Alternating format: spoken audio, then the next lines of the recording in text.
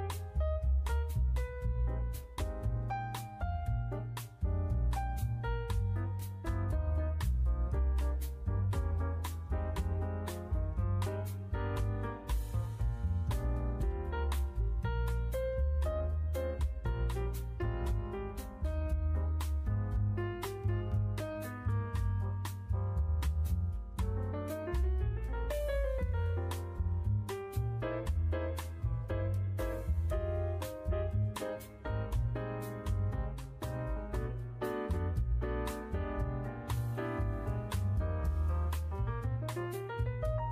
you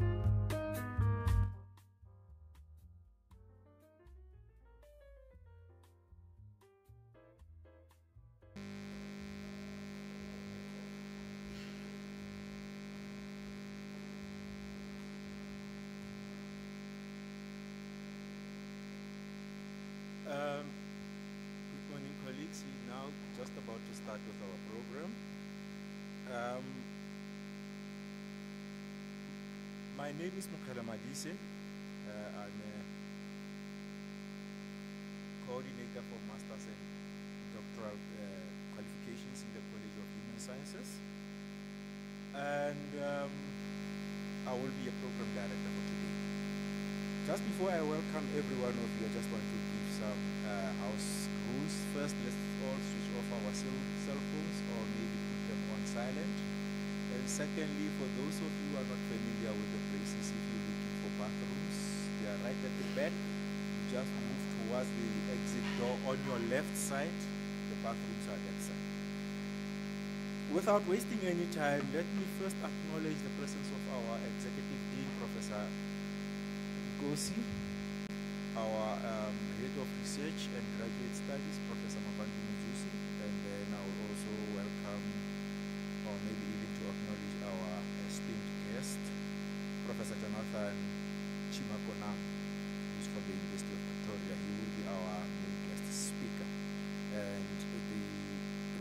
respondent will be Miss Gugu Ndazi. She's basically one of our members or our staff member who is in the Department of Philosophy, uh, Practical Theology as well as Systematic Theology. Now, without wasting any time, we'll get uh, straight to our uh, program where I'm going to invite Professor Nkosi, our Executive Dean, to come and welcome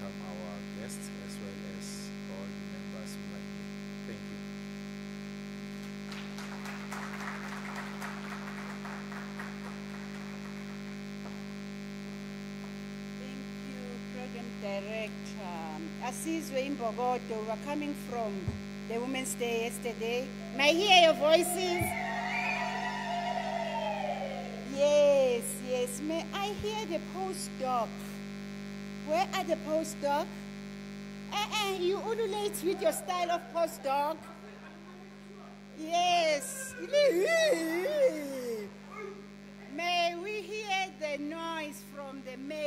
Are always supporting the females.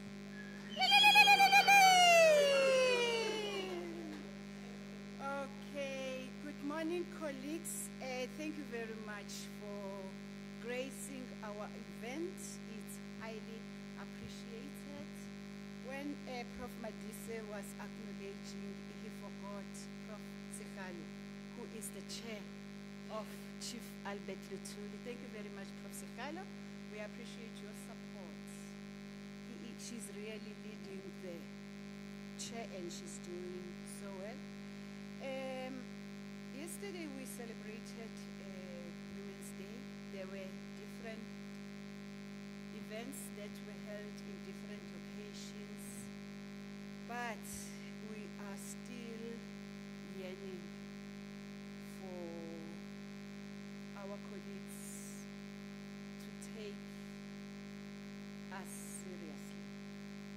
Are still suffering, but in the next two hours, we're going to forget our misery and focus on our Africa Speaks event. For people who are new at UNISA, this is the legacy project which was started by our executive dean, Prof. Rosemary Moeketsi. She had a vision of ensuring that we move in a deep colonial space, taking our scholarship with. So the project started in 20, 2008. This year, it's 2023. It means it's a 15-year project. This year, UNISA is 150 years So you can see the relationship. It's a 15-year project. We are celebrating 150 years. There is this 15 that is common. For lots of players, please go and put 15. Yes. So I'm giving you two numbers. I'm giving you 15. I'm giving you six because if you say one plus five is six, if you win, then 10% goes to the College of Human Sciences. So her vision was to nurture and develop and sustain a vibrant community of researchers. We are having a head of research and innovation for the College of Human Sciences because what we are doing here is Africa Speaks. It needs to talk to our research. We need ideas on how we can really ensure that our thoughts are acknowledged wherever we are. So she wanted us those innovators, and also when you ask about knowledge, they say knowledge is true, but based on whose idea. When we talk about UNISA, we always talk about student-centric uh, knowledge. Do we ever involve our students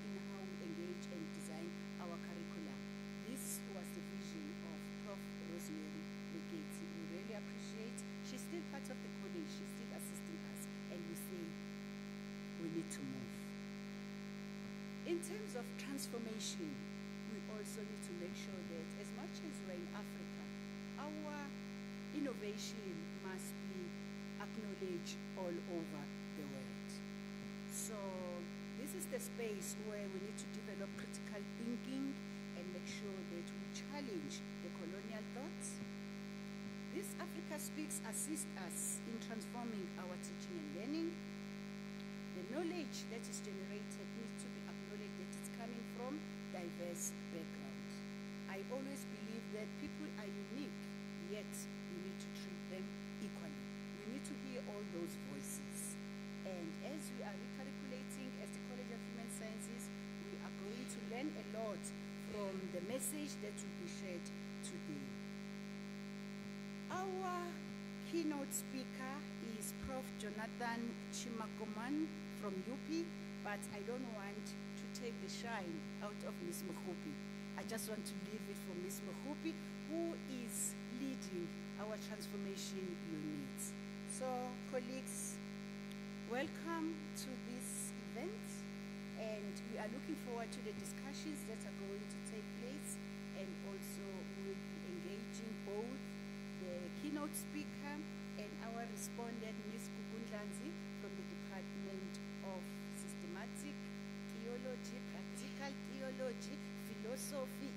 one department that is this. So, colleagues, thank you very much for your attendance.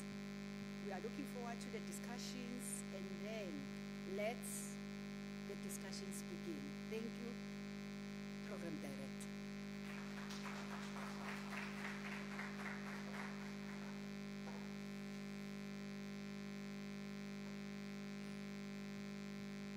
Thank you, Professor Nkosi,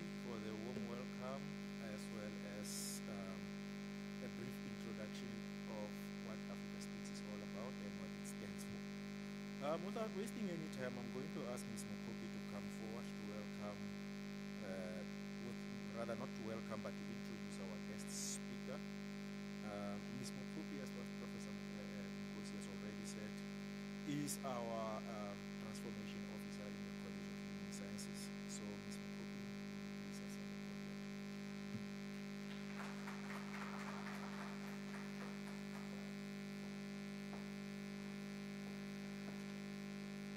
Professor Nkosi and the entire College Management Committee, colleagues, good morning.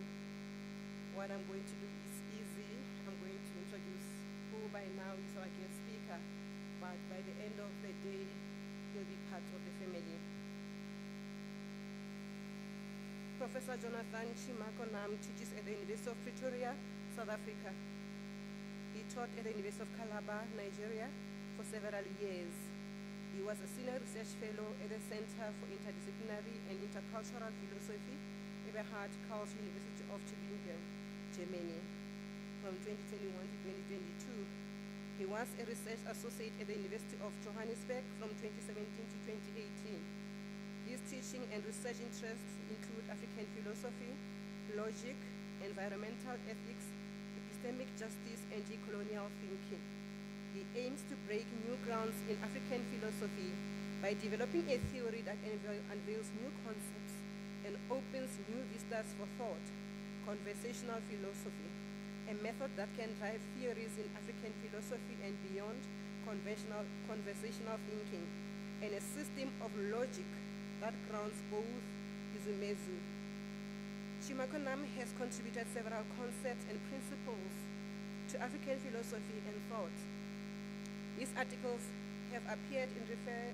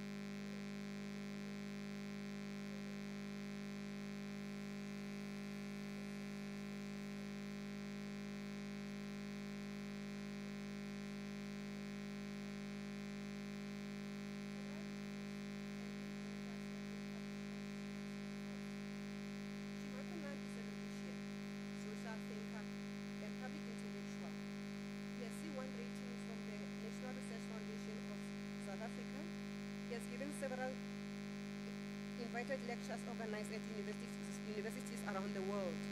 He is the convener of the Conversational Society of Philosophy and the founding editor of Philosophia Theoretica, Journal of African Philosophy, Culture and Religions.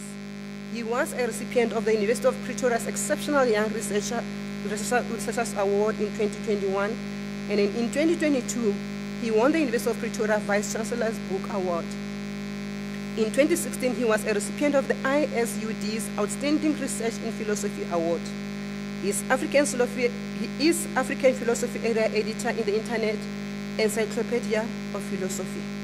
He is part of some ongoing research collaborations with scholars from other countries, including a John Templeton Foundation funded project. His book on Ezumezu logic is currently being translated into Chinese and Portuguese languages. Chimakonam is a member of about a dozen professional philosophy bodies. He has a passion for mentoring young students and colleagues. Thank you.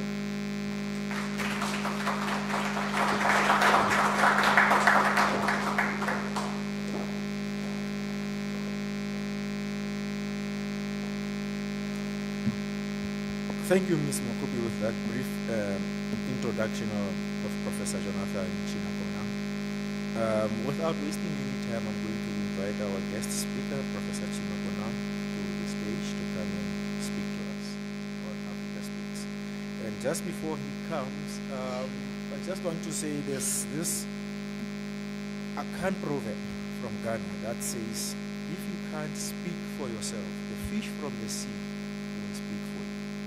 Hence, the lecture or lecture series on Africa about Africa having to speak for herself.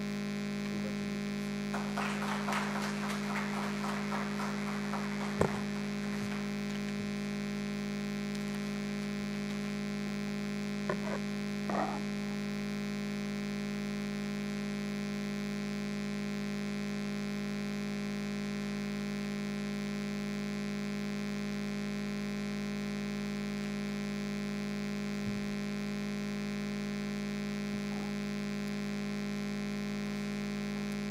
Thank you very much, Mr. Madise, most especially Willie Madike for his kind words, wonderful introduction.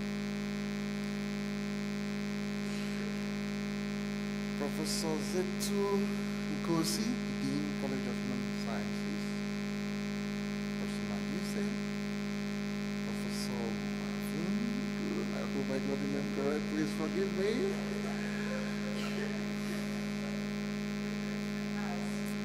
Okay, Azul. And the professor that joined us from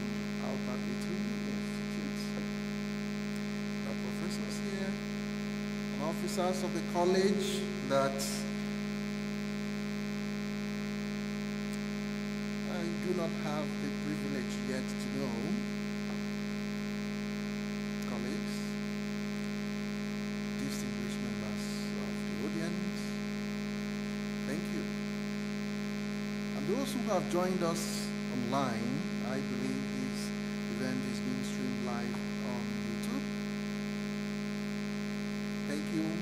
out your time to listen to me. The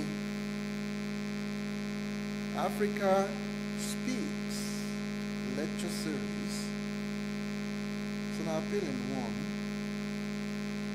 Let me try to time myself within one hour that I intend to speak.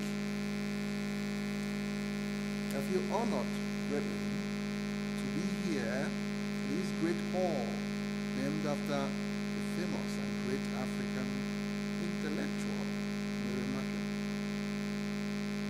I also feel honored to be speaking at the University of South Africa the very year that it clocked 150 years old.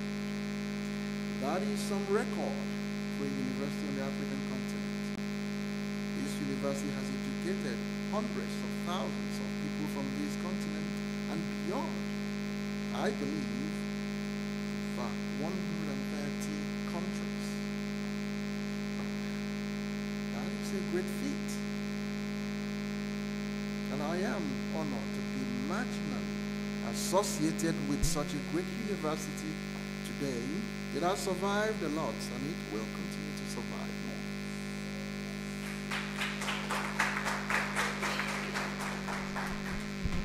today I want to talk on a topic that has concerned me and bothered me for some time. And I believe in the course of this talk, perhaps you will hear something that reminds you of things that are also things that concern you and bother you about Africa and Africans. My topic will be the communal contract and the African condition. We can garnish it with a rider how the communal ideology impedes Africa's progress. My talk will be divided into five parts. The first part, I'll be looking at the problem of this very lecture, the gap in the literature research, leading questions that will inform my ideas today, and a set of hypotheses I have formulated to explain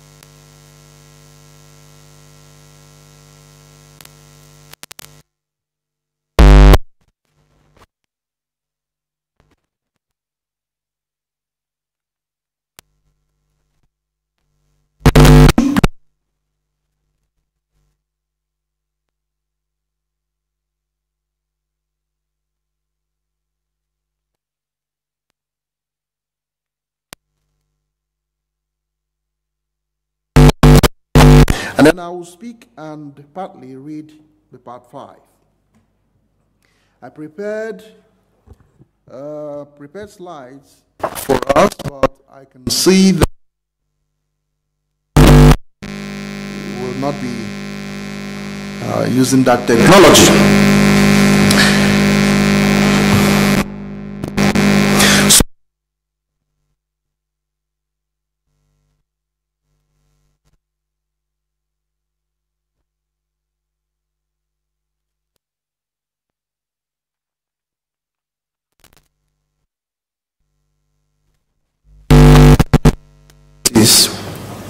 Several miles behind Europe. Because at the time, the Europeans made their incursion into this continent. Why? Why is it that many African countries today can't seem to get things right? Why? Why is it that many Africans can't seem to do the right things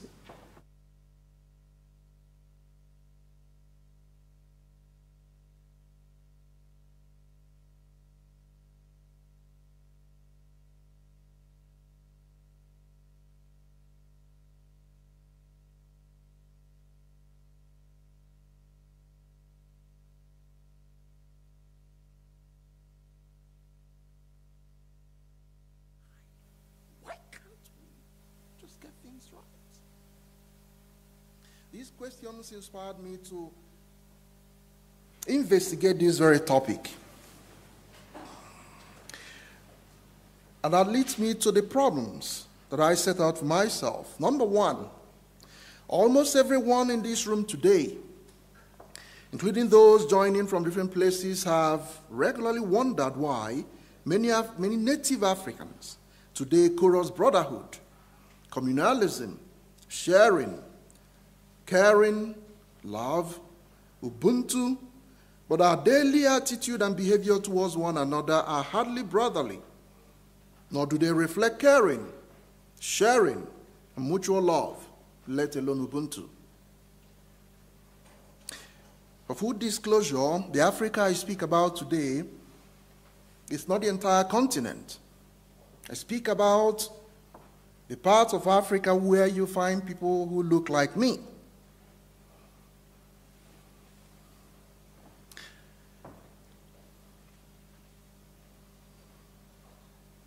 This problem is the PhD problem, pull him down syndrome, that pervades many African societies. Some have claimed that the evils of slavery, colonialism, racialism, and apartheid broke our moral fiber. Others have argued that Western rotten individualistic vices in their various depraved forms have corrupted our values. Still, some others have argued that African communalism is a relic ideology that is unsuitable for modern life. Friends, whilst I will not deny these accusations nor attempt to defend indefensible cultural and psychic damage dealt on our people by ungodly and depraved colonial antagonists, I will attempt to demonstrate that the most significant damage our people have suffered and continue to suffer to this day was brought about by our own devices. And I've couched it as the communal contract. I will come to it. Fashioned in the ancient time by- our parents, a thousand years, two thousand years, how many thousands of years ago? But imbued with something that made it inhibit progress. I will come to that. Number two, some people in this room may have noticed that the only occasion when most native Africans work together is usually to fight off a common threat. Real or imagining, external or internal. If they were in government, civil service, parliament, military, corporate world, sports team, or even in academia, they could quickly organize to put down a perceived common threat under a pretentious banner of brotherhood.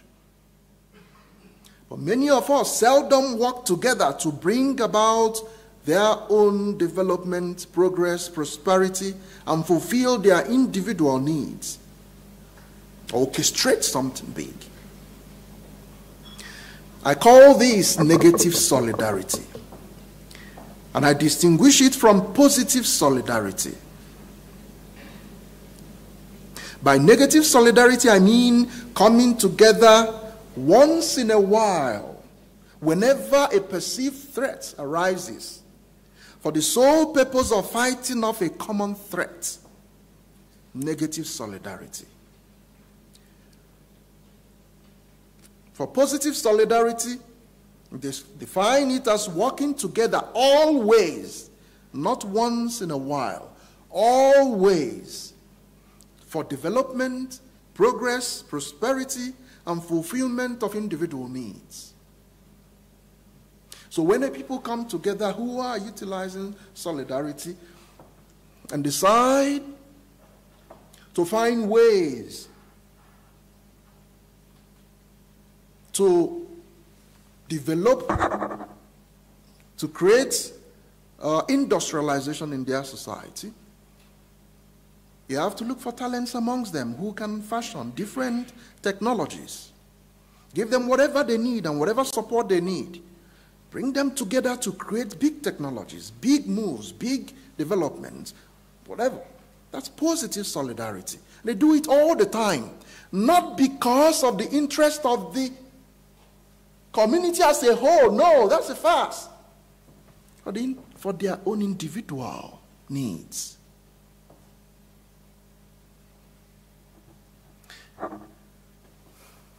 These are two different mentalities negative and positive solidarities. The backbone of African communal contract that our people entered into in the ancient times by my research and imagination is negative solidarity.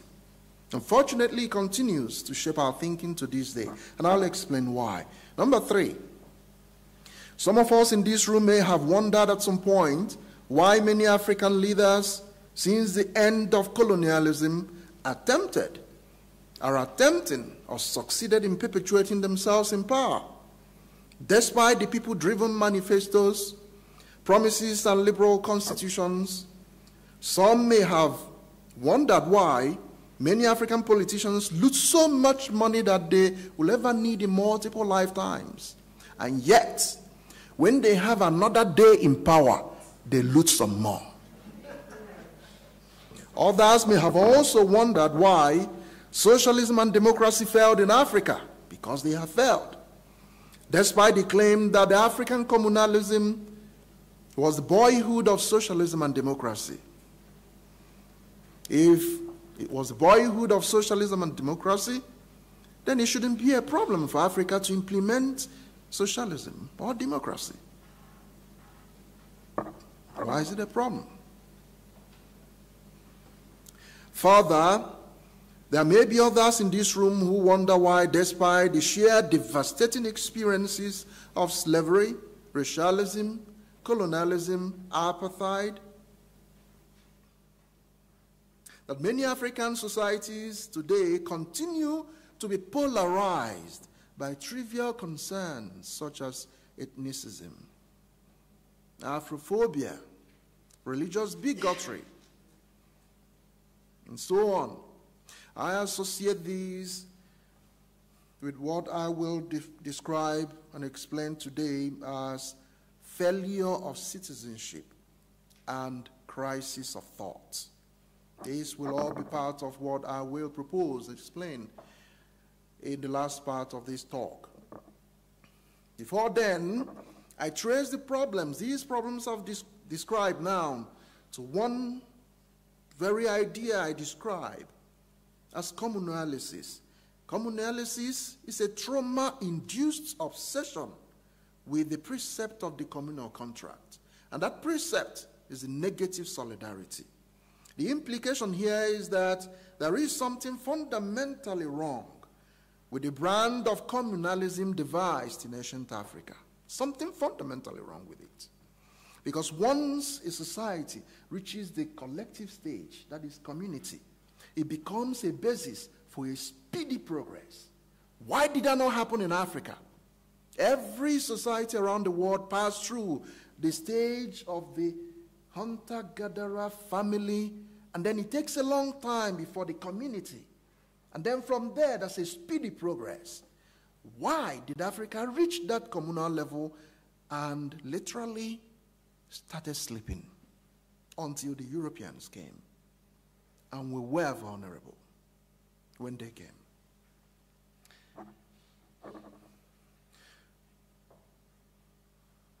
So I will make a bold claim that the error, that thing that is fundamentally wrong with the brand of communalism devised in Africa, is so fundamental that it has continued to determine the history of Africa ever since. I'll explain why. Without this fundamental error in the formation of the Asian African community, Africa would probably not have been enslaved, colonized, and racialized against. If the Europeans who made incursions into this, uh, con- this continent in the 14th, 15th century had arrived and met wonderful, awe inspiring civilizations from west to east to south, where how would they begin to even imagine the idea that they were superior? They would, be, they would have been they would have been wowed to the point of thinking, what can we learn from these people and take back home? They would have been pupils rather than masters. But the condition they met our people when they came in many parts of Africa inspired them to imagine, quite in error, of course, to have these baseless sense of inflated sense of themselves began to imagine that they were superior. The moment that happened, slavery was only a time, it was only a matter of time before slavery started. And from slavery, colonialism, and from colonialism, neocolonialism, and the isms continue.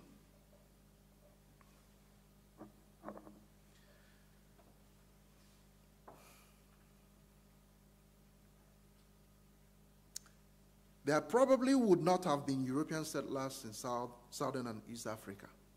No land dispossession, no apartheid, and probably no Robert Mugabe. If they had met Africa, if the community we founded was the type that enabled us to make exponent, uh, standing progress like in some other places like Europe. That error is, as I have stated above, the formation of the Asian African community in which members were imbued with the mentality that the only time they were to work together was mainly to fight off common threats. Besides that, everyone was to fend for themselves according to their own ability. Civilized, no civilization was built was ever built by individuals who work on their own. No, no one. And no civilization was ever built by people who only come together when there's an enemy to fight. None. Many African scholars, and this leads me to the gap in the literature, many African scholars claim that the basic ontological and socio-political tenet of the culture, most of the cultures south of the Sahara is communalistic. And you find this in numerous literature from philosophy to sociology to anthropology to cultural studies and what have you. Some notable scholars would include uh, John Mbiti, Ifeanyi Menkiti, and recently Polycarp Ikuenobe to mention but a few. Before these people, there were even some African scholars who had articulated that African communalism into a brand of socialism they call African socialism. You see that in the works of Leopold Senghor and uh, Julius Nyerere. Some have even teased this African communalism as Ubuntu. And you see that in the works of Kagame, Jan, Samkange, and Samkange, Bengu, and a host of others. Others have articulated it as Ukama relationship. You see that in the works of um, Rovi and Masaka and the rest of them. Yet others have explicated it in terms of Umunna, Or Hakarasi, or consensus. You see that in the works of Njaka, 74, Nwala, 85, Rebu, 95, Wiredu, 93, 96.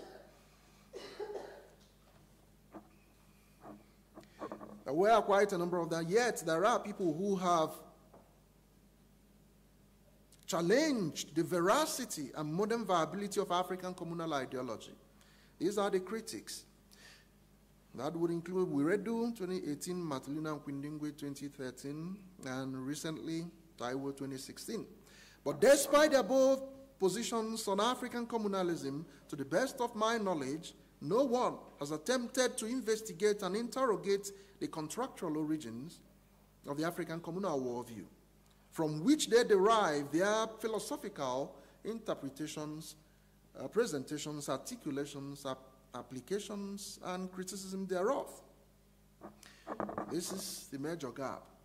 If we value African communalism the way we romanticize it everywhere, then as scholars, we owe a duty to probe deeper, dig deeper, beyond this, the surface, trace the origin of these values, and how uh, the circumstances that led to the formulation of this value, the nature of this African communalism, whether it is the same with the type of communalism practiced elsewhere in the world. Africa was not the only communal society, it's a stage of development, and every society passed through it. Asian Africans gave themselves a communal contract as a product of my research by articulating a set of norms to control the freedoms of individuals. And I'll explain why I think this is the case. This was the case. Thus, the foremost African community most likely emerged by default rather than by design. But this communal contract must have been instigated by a series of traumatic experiences that resulted from the organic exercise of unlimited human freedoms in the ancient times. The latter must have led to the emergence of strong individuals who left carnage, mayhem, and wanton destruction in their trail. People who've realized their freedom and used it however they liked when they had not developed a sense of responsibility. Imagine the type of damage, blood, carnage that that would have led to, the trauma that would have caused, the fear that compelled people to say, okay, let's come together and stop this.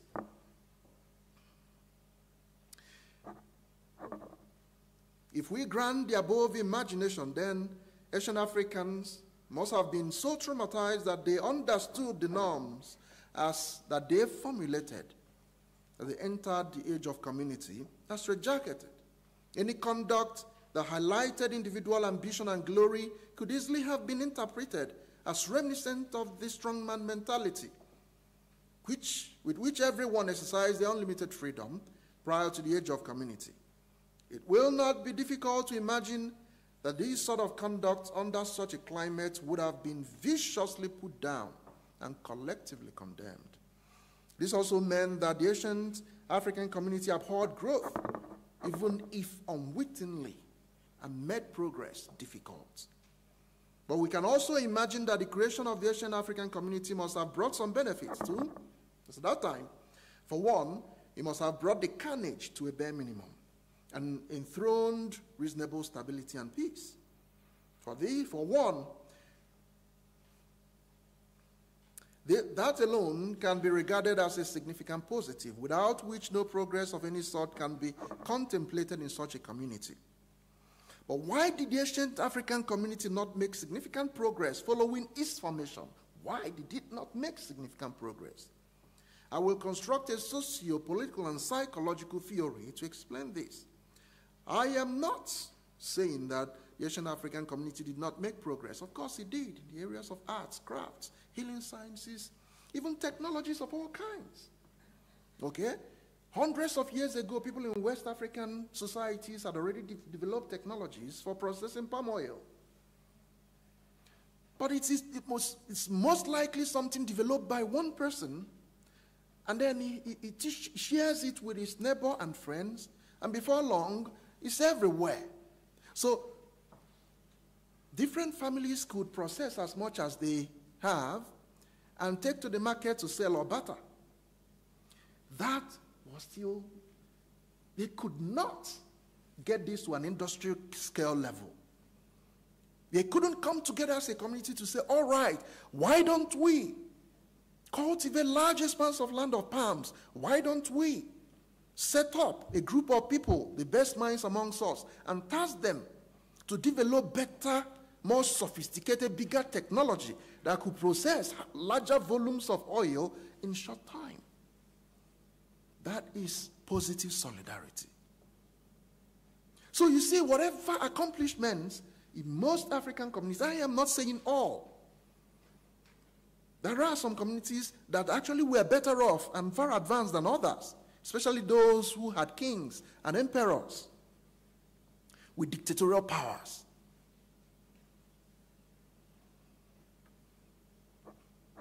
So there was progress in some areas, but it wasn't enough. And they remained mostly at individual level. At least Africa of the 80s was not at the same level with Europe when Europe came.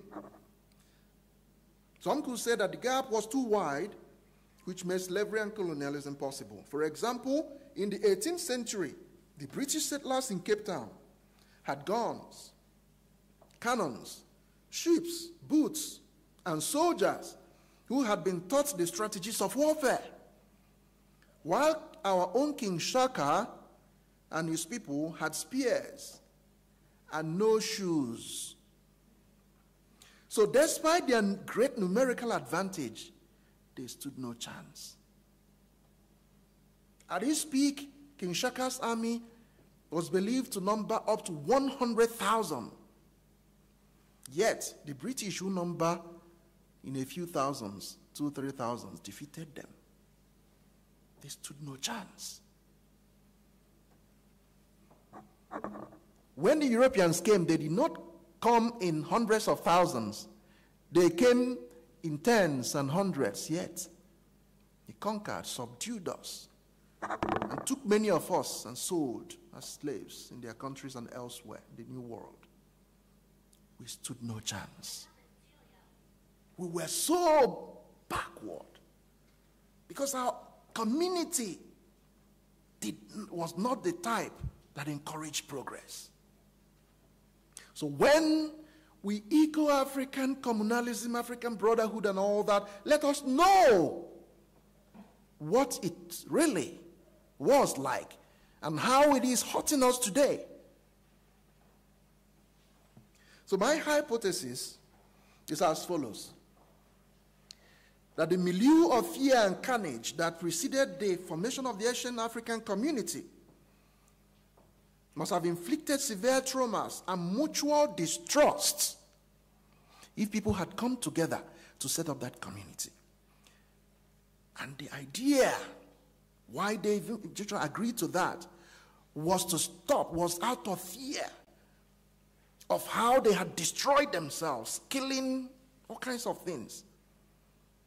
That's the mutual distrust to survive. Such that members of this Asian community found themselves to be innocent. Their contract was imbued innocently with negative solidarity.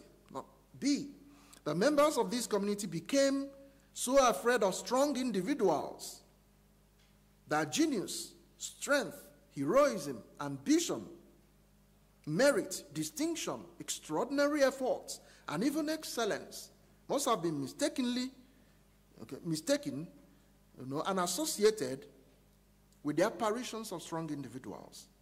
So they are afraid of strong individuals who use their strength to murder and take and maim to the point that they begin to clip the wings of individuals who've got ambition, who've got genius, who've got strength. Everything that highlights individual becomes a negative that must be suppressed. Yet, in weeding off the evil ones, they also suppressed the good qualities that would have driven their communities forward. From A and B eh, above, the Asian African community became one in which members mainly understood communal life as one, where they worked together to fight a common threat. Besides that, everyone simply had to crawl towards their individual needs at their own pace. And as an individual, you can't go far. That's only how far you can go. The, that the experiences of slavery, we are now in the New Age. The experiences of slavery, colonialism, racialism, and apartheid, and the reality of African accomplices to some of these evils must have again inflicted new rounds of trauma to modern Africans and distrust, mutual distrust of members of the post colonial African community. That the only time they could work together was mainly to fight off a common threat. From South Africa to Zambia, from Zimbabwe to Nigeria, from Cote d'Ivoire to the Congo. Most times when Africans come together is when they think that a common threat has arisen. After that, everyone goes about their business. Negative solidarity doesn't engender progress. So, now having set the tone of my research, let me speak to the next three parts and then conclude quickly with the last part. The next part is the communal contract and the emergence of the first African community. How did the first African community emerge? Surely there must have been a, a, point when African communalism as an ideology came up. There must have been a point where Africans moved from the family unit to the community level of social development. That must have been. Let's no, let's imagine what it was like. Let's also imagine the circumstances that led them to the formation of that first community. Let's imagine the psychological state of those who formed that community, who articulated the norms that became that ideology, that contract. And I, and as I was doing this research and reading all kinds of things and thinking as philosophers do, putting things into logical perspective, I realized that there's even a strong gap, even as we discuss African communalism today. Most people always start from the ethical precept that African communalism is made up of norms, norms that guided moral conduct. Hey, okay, that is true with the age of community, yes, but prior to the age of community, what do we have? Before the first humans came together to form the norms, what did we have? Because the community was important stage that must be in place before you get to the community. The family was an important stage that must be in place before the community could be set up. What was it like? We can imagine a large expanse of land where people lived in isolated spots. Population was quite far lower than it is today on this continent. So you can imagine biology kicking in and working its magic. Males and females meeting and then having babies and raising them. From hunter gatherer, human ancient man and woman, to the family man and woman, the children who grow up to be sent forth, the man to be sent forth to establish himself and find himself a wife or wives, the woman to be sent to be married up to another man who comes by. This sort of arrangement that led to the formation of the African family unit system that developed eventually that to marry someone's daughter you have to pay lobola. Most of the cultures in Southern Africa. Kurasia in Eastern Africa. Imego in West Africa and the rest of them. And the similarity of these cultural practices they begin to string together. And I thought to myself, some norms guided them, even though nobody articulated them. And because nobody articulated those norms that guided the formation of those family units and how they related amongst themselves, I decided to name them basic norms. Basic norm one, basic norm two, guided how families are set up and how those children go up to set up their own families. And those were the those things happen at the age of innocence. When most people on this continent in those ancient times didn't have a sense of property, ownership. Basal human emotions like greed and avarice and jealousy were not there. There's nobody to compete with. Everybody tried to make a living from nature. And was happy to sight another human being in two months or one, one year. But imagine when population started growing and many more people started dotting the same landscape that people could now see their neighbor not far off or trek a, a, a mile and see another neighbor. When people started having a sense of ownership and say, okay, this is mine, don't come here to hunt. That's my stream, don't fetch water there. Imagine when that starts happening. At a point, something must have triggered violence. Something must have triggered people realizing that they have freedom. As at this time, no one had any idea of freedom. We can imagine that. Imagine a man walking by and seeing his neighbor come home with a beautiful maiden, far prettier than his own wife. No laws, no punishments, no law enforcers, nothing. And he looks at himself, he thinks he's huge and stronger than the man who now has far prettier maiden. What do you think will happen in the mind of that man? If he resisted it one day and one week, by the next month he will walk across to that man's house and drag that maiden. What would that man do? He will respond by fighting to keep his wife. And they will fight to the death. Because he's stronger, he succeeds in killing this one and drags off the woman as his own. He's not afraid of repercussions. There was nothing like that. No laws, no police. He must have realized his freedom. He must have felt good. I don't even have to go and fight with lions before I could kill a game and bring home. I could simply wait here and take from those who have hunted. The realization of freedom without knowledge of responsibility. And this, before you know it, we can imagine must have become a norm. People started doing it everywhere. Carnage, destruction, murder, everywhere. People thought this was the way to live. Must have thought this was the way to live at that stage. Until it will begin to, because if you have succeeded in killing people and taking from them, on one day you meet your match who will deal with you so much that if you survive it, you'll be left with new knowledge that, hey, not just me who can take whatever I want. There are other people who can do that as well. Someone must have at some point thought of, we can stop this by agreeing not to take what belongs to one another. And he must have shared it with some persons who will accept, some who will just ignore him. But at some point, he must have taken years, decades, even centuries and the fear and the terror must have compelled people to say, okay, let us come together and reason this thing. And then they decide to make a set of norms. What do you think was the psychological state of those people?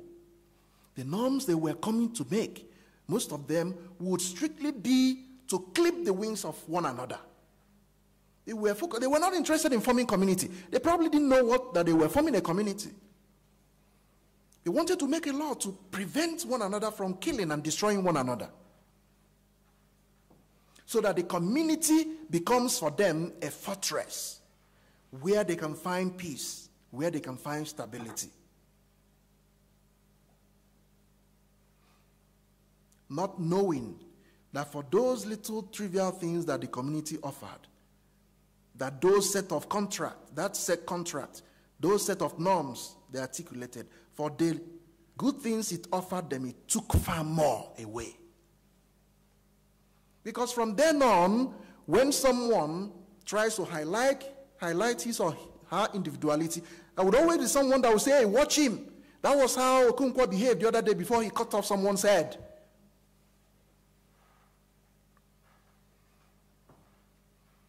So the same communal contract became the inhibitor of progress. This must have been what? And I am not trying to tell you to agree with me. I want us to debate. This debate could linger for years. but bring a better alternative too. Let us explain why Africa was so backward as at the time the Europeans arrived. As intellectuals, it's our duty to find an explanation, and many, as many explanation models are allowed.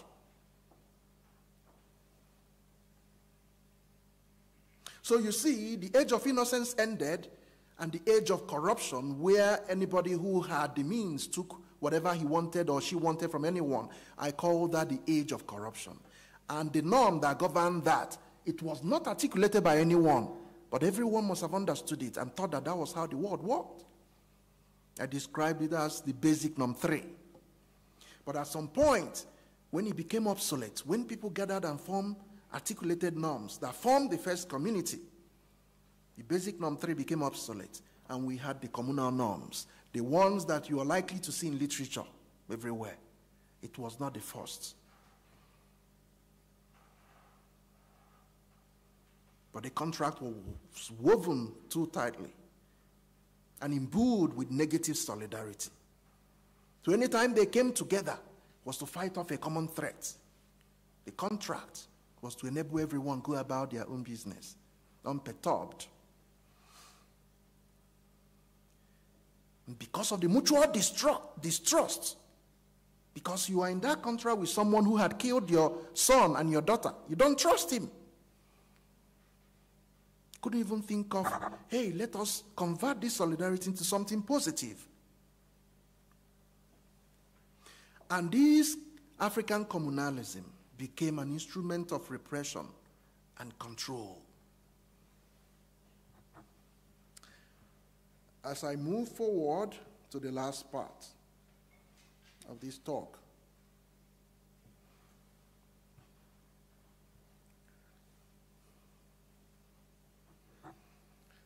communalysis as the contemporary psychosocial consequence of the ancient communal contract the African condition today. I define communalysis fully here. I had given you brief definitions elsewhere. As a trauma induced obsession. Now you understand what the trauma I was talking about. In the ancient time, the trauma of the carnage that precipitated the formation of the community. But in this modern time, new rounds of trauma arose from the terrible, humiliating, and evil effects of racism, colonialism, apartheid, and a host of others. So I say that communalysis is a trauma induced obsession that compels its victims to mentally run back to the ancient African communal fortress, from the safety of which they can rebel and collectively fight off oppressive ideologies and ideologues as common threats. Communalysis as a condition that many Africans today suffer without knowing it. Many of us suffer this condition without knowing it. How eager are we to fly back to the ancient African communal fortress? Why? Because that fortress provided peace and calm and safety from the carnage and destruction from everybody against everybody. The humiliating effect, the knowledge, the awareness that racialism, colonialism, apartheid, and slavery, that these things were humiliating to us the moment we run into something from the evil perpetrators, the perpetrators of these evils, we don't want to accept that there's anything good that can come from them because of the humiliation. And then you see us run back to the fortress of the ancient African community. We scream Ubuntu. We scream Ukama, we scream African this, African that, African brotherhood, African that. But we don't practice those things because we don't really mean them. It was a facade. And I'll explain that. So the wall of that fortress enables us to give a facade to outsiders that we are a people who practice common brotherhood. But inside that wall, we antagonize and destroy each other. On each occasion, when we gather together to fight off another enemy or threat, other Africans who did not join in that flight back to that African communal fortress are easily ostracized and called all kinds of names. In the ancient time, to be ostracized from that community is to be left alone and to suffer and die because people who don't care, people who, strong individuals who are roaming about will tear you to shreds and nothing, nothing, nobody will protect you. That community offered protection. In the ancient Africa, to ostracize someone from the community was the greatest punishment you could give to that person. In today's Africa, to discount someone as non-African, you're not a brother, and call them all kinds of names. Perpetrators of these intended to have similar effects, and in most cases it does.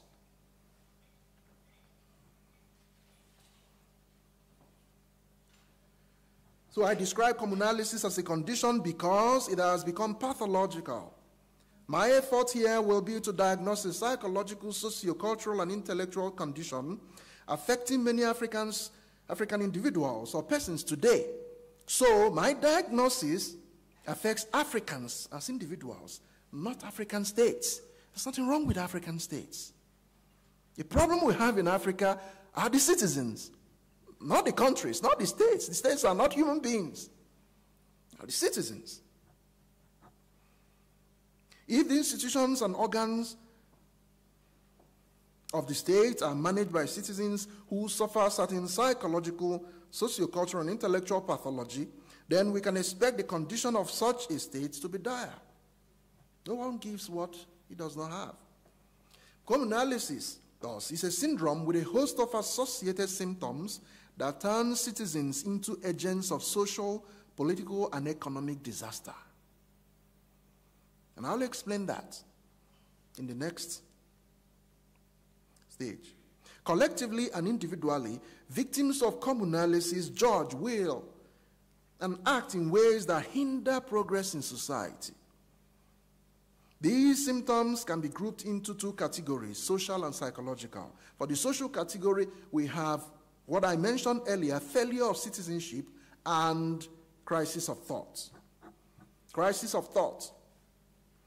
Following a long colonial cultural harassment and bombardment, our necks have twisted to face backwards, such that while we walk on the tracks of individualistic ontology, liberal democracy, and all kinds of things, our gaze is always fixed on the shadows of communal ideology. We are in democracy walking this way, but our gaze is fixed backwards on communal, commun, African communalism. So democracy says, by principle of rule of law, that everyone must be treated equally before the law. But African communalism that our necks are twisted backwards to face will remind us that that person is our brother, speaks the same language with us, from the same ethnic nationality, from the same racial group, even, that the cases like South African and, and elsewhere or even attends the same church with me. These things play serious roles to subvert democracy. How can democracy work? Crisis of thought. We subscribe to democracy, liberal democracy, but we you eh, but our actions negate the same principles. We preach, on the other side, we preach communalism, yet our actions negate the same principles. Crisis of thought. You say one thing, you do another. You believe one thing, you act another. When someone from South Africa or Kenya runs into the man who comes from the Congo or Zimbabwe, they call each other brothers. Then the next day, when one sees the other striving to achieve something important, he shoots him down. Why? Because in the African community, everyone must be equal. No penguin should wear a different stripe. Difference is a crime. Don't be different. There is mutual distrust amongst people who are supposed to be practicing common brotherhood. We trumpet the eponymous values of communalism, but act the vilest, vilest form of individualism. In our thinking, we are always confused about what we want and what we need. For example, we need to support and promote each other and their businesses. But I want him, him, and her, and her not to grow.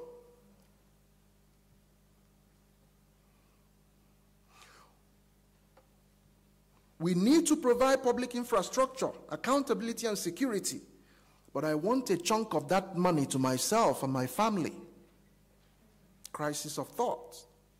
We think like children, speak like angels, and act like monsters. Crisis of thought. Sometimes we don't even recognize ourselves from our thoughts. And because of this confusion, we can hardly see far into the future nor envisage the future consequences of our today's actions and inactions. Someone, some people failed to build new power stations in this country when it was time to do so. Some people failed to modernize existing power stations when it was time to do so. Hey, we still have 24 hours power, so what, what's the need?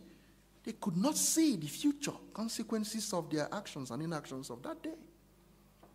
They did not know that population will grow. They did not go, know that industrialization will continue to grow.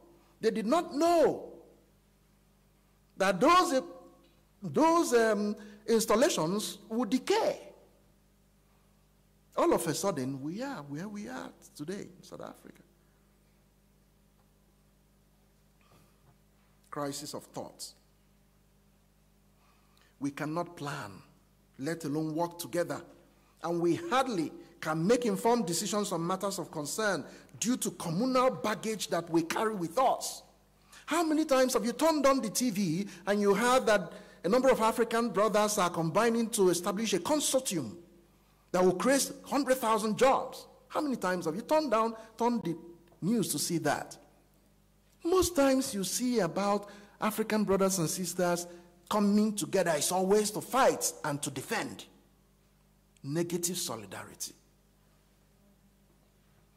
Failure of citizenship. And this is very important because it concerns all of us. It's always easy for us to point fingers to those who destroyed South Africa, the leaders to the corrupt leaders that destroyed Nigeria, my country. It's always easy to point to the dictators and those who perpetuated themselves in governments and looted their countries down. It's always easy to do that. What we forget most times is that it is a failed citizenship that produced those rotten leaders. So, because those who manifest the first symptom of crisis of thought are citizens of various states in Africa, it would appear as if the problem is with the dysfunctional states rather than the citizens. This leads to the delusion that if appropriate programs are put in place and implemented in the political, economic, cultural, legal, and water view, that the fortunes of, of the affected states will inevitably turn around. It's not true. It's a short sight. It's, it's, it's, this, short, so, this short sightedness is alarming, to say the least. The people of African nations today, those people are not necessarily. The problem of African nations today is not necessarily with the constitution of the states themselves, but with the individual citizens. For example, South Africa has democracy and one of the most liberal constitutions in the world. But it is still home, it is still one of the headquarters of crime and human rights abuses in the world. The citizens are the ones who will make the laws, policies, and vote in elections. They are the ones who police their democracy, police their governments, exercise their their duties, function in agencies and what have you. They are those who will manage state agencies and institutions. And they are the people who will implement the laws and policies. It, is, it does not matter the structures which the United States, World Bank, IMF, UN, and EU, or any of these crooked international organizations have helped us or compelled us to put in place. If most citizens cannot do the right thing in their various stations, then, as the German poet Heinrich Heine tweeted, we will sow dragons and reap a harvest of fleas. Name one African country today that is not reaping fleas from a plantation of dragons. If you and I as individual citizens, cannot do the right thing in our various stations, there is no way that society, that state can make progress. It's not possible. There's no way. So in Africa, we are witnessing a near complete failure of citizenship. You cannot always expect to get justice from the courts. In some countries, never, unless you have the money to pay for it. You cannot always expect to get good service from public institutions. Negligence and irresponsibility characterize various offices. In some countries, members of the law enforcement agencies break the law more than civilians. General public indolence, lawlessness, and entitlement mentality pervade all strata of society in many African states. Business transactions are marred by dishonesty Public office holders are some of the boldest thieves and shameless idiots you can find. If this is not a failure of citizenship, tell me what is. You ask yourself, how did we get here? My response is communalism. The trauma-induced obsession with communalism. Most African scholars treat it with kids' gloves. They shy away from vigorously interrogating it. Others sing his praise and romanticize it and claim that and make it look like it makes us the envy of the world. Well, look at where it got us. The psychological category, and this is the last category before I wrap it up. I'm still within one hour. This category has, I, I have articulated them as regressive mentalities. And I have eight of them here. There could be more. These are mentalities that many Africans wear and carry around to whatever they do. Most of them most of us don't know it. And these are the mentalities that enable us to run down the entire state from our little corner. We run down the entire state from our little space with those mentalities. Number one, the wolf mentality. You know the animal called wolf, quite territorial. Victims of this mentality manifest a tendency for territoriality through negative solidarity. Communalism compels victims to carve out their own ethnic, linguistic, religious, class, racial territories and aggressively police and defend it like wolves do against threats, real or perceived. Those afflicted with this mentality are bigots, they are racists, they are classists, they are xenophobes, and they are ethnic jingoists. They are national citizens, and this is important. They are national citizens with local mindsets. And I say that no nation whose citizens are imbued with local mindsets ever rises above mediocrity. Take South Africa, for example. Somebody has money to, some people have uh, money to set up a big company. And they, are, and they announce they want to hire.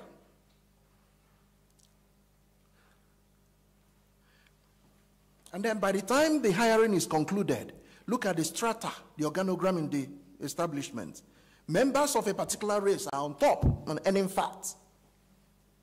Another race is after them. And it continues down to you see the race that is at the bottom, earning the peanuts, doing the menial jobs in the company.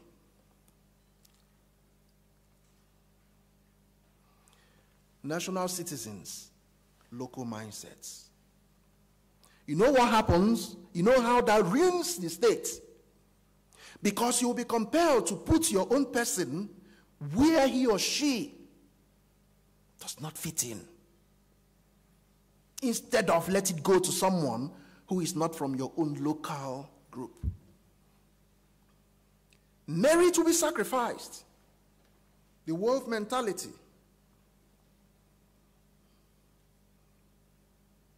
It narrows and trains the vision of an advocate or adherent to focus solely on what they consider a community. Those who are outside of that community do not matter or even exist. Many Africans today wear that mentality. Number two, the self abasement mentality. Those who are afflicted by these psychological symptoms do not recognize or tolerate merit, self abasement mentality.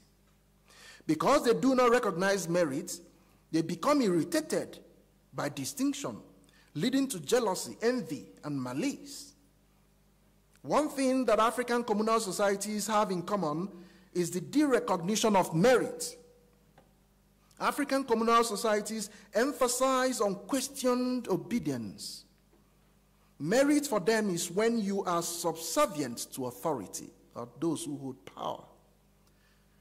But true merit means, and I define from a dictionary, quality of being particularly good or worthy, especially so as to deserve praise or reward. That is what merit means. Merit oils the engine of progress in society. The African communal ideology does not promote merit so well. It promotes and encourages self abasement.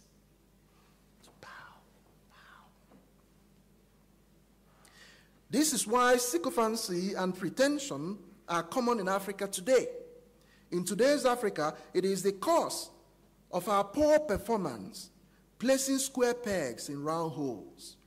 People ascend positions of leadership and power through sycophancy and surround themselves with sycophants.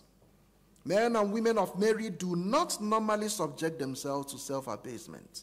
So they are summarily dismissed as arrogant and proud. Whenever you hear people using that language to qualify people, look closely. Those are people who have self-concept problem. It's arrogant, it's proud. That someone is arrogant or proud is not an argument. It's their own way of hiding their inferiority complex.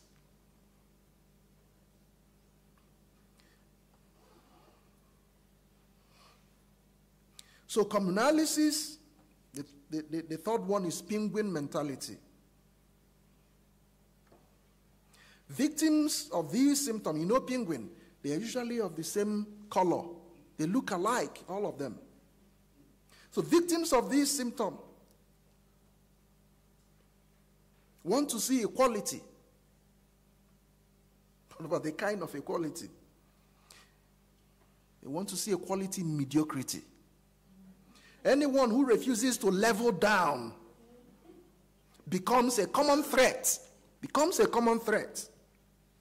Communalysis makes them campaign for everyone to be treated equally, notwithstanding their labor and contributions. They are the first to observe that some are rewarded better than others, while overlooking difference in their contributions.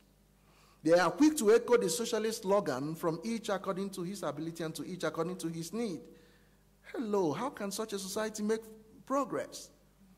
I give 10 hours of productivity. Someone gives one hour and laces around at the beach somewhere else, and then you say we should all have equal. No, no, doesn't make sense. It's part of the reason why socialism failed globally.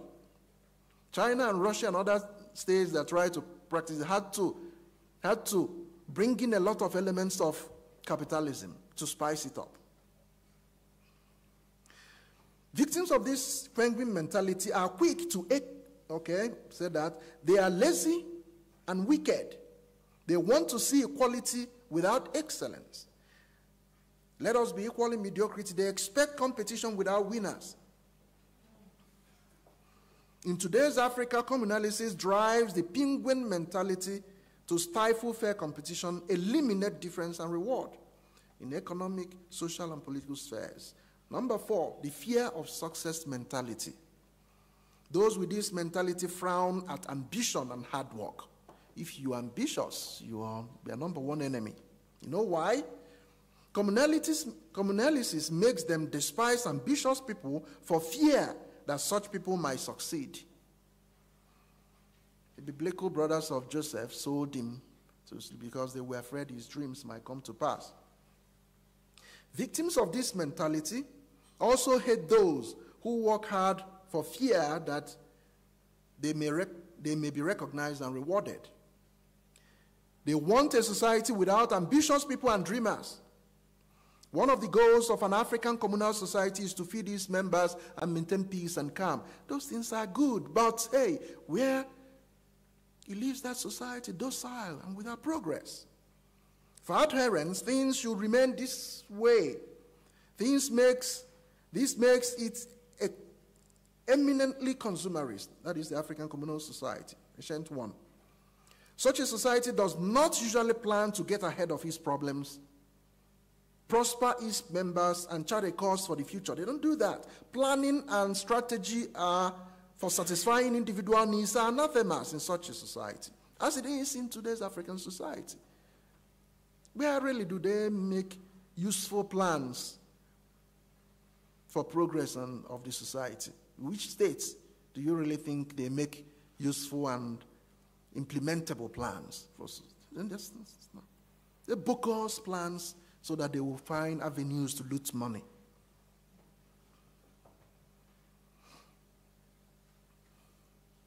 Imagination and creativity are abhorred in the ancient African community, as it is in today's African community, for they challenge status quo. Therefore, to dream is to make the enemy of all. When you think about your friends and your relationships and your life to this point, you must have seen several occurrences of this. You may have even participated and played a role in some without knowing. That is our problem. In Africa, many of us. Number five, the kill Nkrumah mentality. You know, the erstwhile leader of uh, Ghana, Kwame Nkrumah. This is inspired by the Odyssey of Kwame Nkrumah. Communalism makes victims of, his, of this mentality want to plot and destroy anyone who is audacious and confident in their abilities and plans because they represent strong individuals who threaten them all. You remember the strong individuals of the ancient African community? To them, confidence and audacity are abominable. Thinking becomes sinful and is routinely punished, directly or indirectly. Enemies of progress backbite and find ways to undermine those bold plans and that actor. They do not rest until their goal is achieved.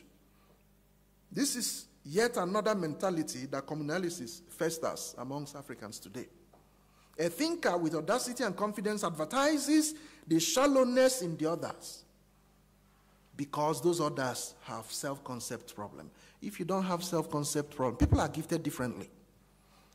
If you're a president or you're, you're heading a police or heading anything, and there are people under you who distinguish themselves, you don't try to block their shine.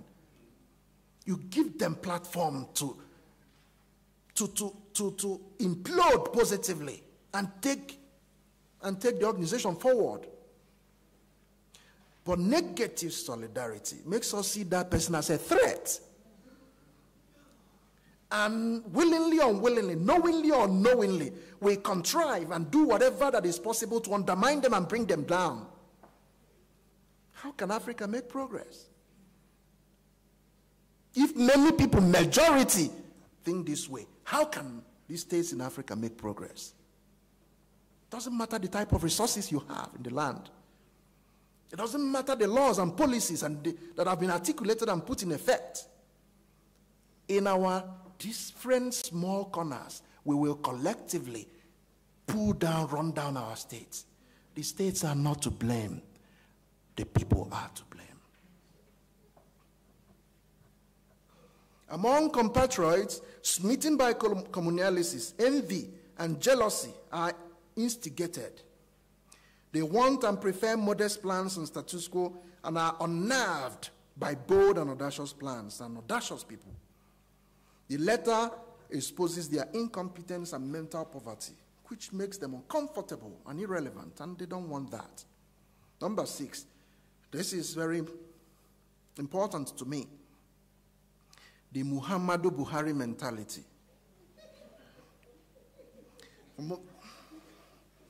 This mentality describes what has become rampant in parts of Africa today, reaching a crescendo in Africa's most corrupt president in history so far, President Muhammadu Buhari of Nigeria, that stepped down in this May. His level of corruption has made nonsense of Mobutu Sese Seko's. But wait and see, wait and see how the threats of these the people that carry this mentality.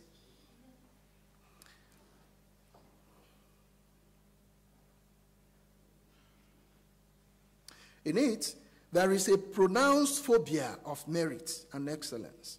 People who manifest this mentality find comfort in incompetence. They put a facade of empty bravado to mask this incompetence and make verbose pronouncements to avoid intelligent debates. They are routinely boastful and contribute no real arguments to issues. They generally have a very fat ego that is easily pricked. This makes them impulsive in action. Communalism makes them bigoted.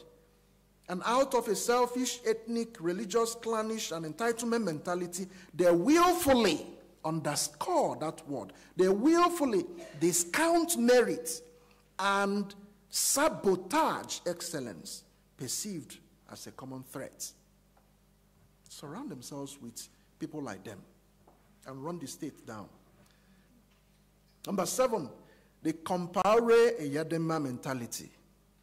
Must know the SY presidents of uh, Burkina Faso and um, Togo both of them military officers who came to power by killing their principals who were doing some doing great for their states.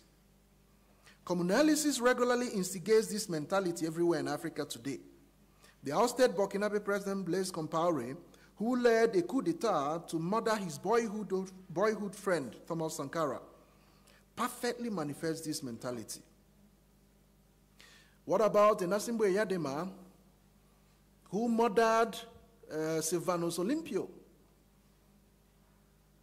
And that same day, he went to the French embassy and collected uh, a paltry $615 as prize money for murdering the man.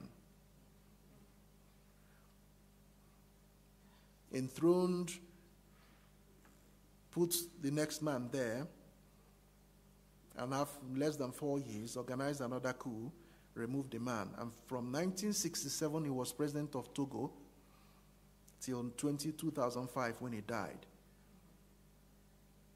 In, 20, in, 2000, in 2000, he changed the constitution to allow him to remain president for life. A year before he died, he changed the constitution to bring down the age limit for presidency from 45 to 35 so that his son would succeed him. And his son succeeded him. People who wear this mentality, they become jealous and seek the help of foreign and external partners to destroy the local heroes and usurp their positions. Those who manifest this mentality are usually disgruntled locals who conspire with external and foreigners to destroy local heroes. They are jealous, they are envious, they lie in wait like the green snake, beat their time and strike when their victims, their friends, you know, was not expecting it. The last, last but not, last but not least, the African elder mentality. And let's pay attention to this. Communalysis leads us to associate age with competence and gray hairs with wisdom. As a result, the older generation with failing health and declining mental acuity are often given opportunities that young, vibrant, energetic people should manage better. It is not because people usually believe that the old are more competent and wise. They do not. But why do they do that? Victims of communalysis simply want to deny their more qualified peers the opportunity to sit on top and manage things. Why should it be him? Why not me? If I cannot have it, then he cannot have it. Let that old buffoon take it.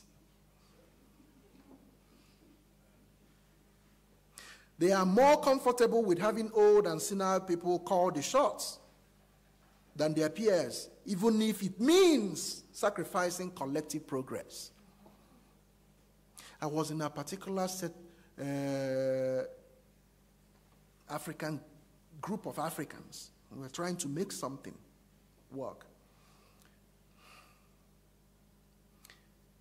And somebody came up with a brilliant idea.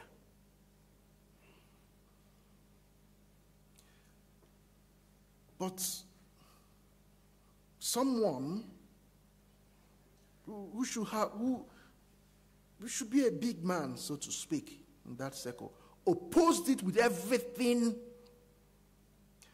No, one person first asked, the, chair, the chairperson of that group presented this wonderful idea. Perhaps they doubted that it, it, came from the chairperson. So one person now asked, ah, Who came up with this wonderful idea? The chairperson said, It's important. This is a good idea. Let us think about it and see how we can take it forward. I said, ah, But we want to know who generated this wonderful idea. The moment the chairperson mentioned the name of the person, who happened to be someone much younger, they have been they've not been comfortable with. You know what they did? Another person entirely opposed it so much. When someone asked, but why? What's the ground for opposing this? Said all kinds of things about the fellow that created this wonderful idea. Things that are not really arguments, but outpour of negative emotions, baseless negative emotions. And concluded with a statement that made me to tell this story. That instead of us implementing this idea, let us remain in our dark ages. I was alarmed. But there is very little one person can do when the tool of democracy is abused by people who suffer crisis of thoughts. That vote is yours by right, but you also have a responsibility to use it well. Perturbed by crisis of thought, you will abuse that vote. You use it the way you should not use it. How can democracy move forward? So, victims of communalysis simply want to deny their more qualified peers the opportunity to sit on top. They are more comfortable with having old people, you know, run things.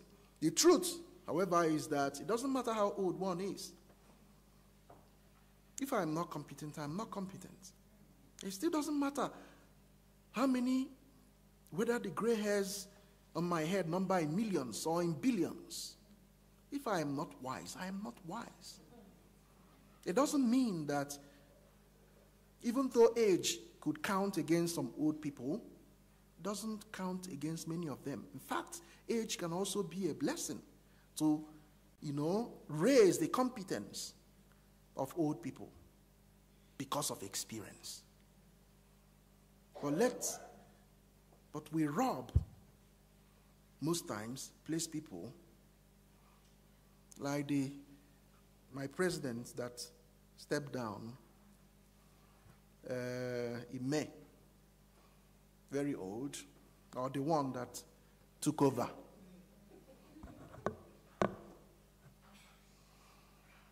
Conclusion. In Africa today, many people subscribe to the intergenerational orientation that for our judging, willing, and acting to be morally permissible, ontological, ontologically authentic, and sociopolitically correct, they must defend the collective from a common threat. This orientation is not only regressive, it also, also, it also contradicts the liberal ideology that dominates Africa today. As a result, there is an epidemic of communalysis in many parts of Africa. I have demonstrated that this condition can be linked to the old communal contract. And when we rebel, when we criticize Western this and Western that, most times we are, we are carrying out intellectual rebellion. Intellectual rebellion against ideologies from the West, against whatever that comes from the West, because it gives us this type of, it's a kind of psychological opium too. The humiliating effects of racialism, colonialism, apartheid, and the rest of them, slavery, makes us want to fight anything that comes from there.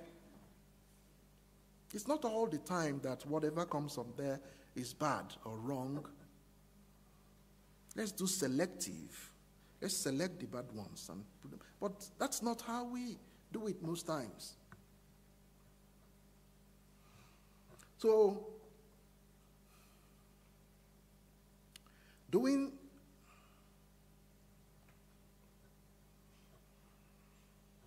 So I said that I advocate that various African societies affected by communalysis should devise strategies for replacing the old communal contract, driven by negative solidarity. Doing this requires a new ideology to inspire progressive mindsets and a new social orientation driven by positive solidarity.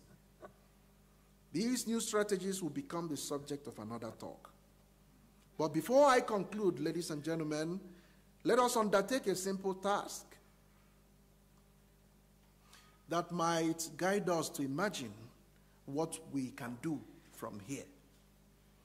If you are on a journey of a thousand miles, and when you have notched up some 700 miles, you suddenly discover that you had been on a false route all along.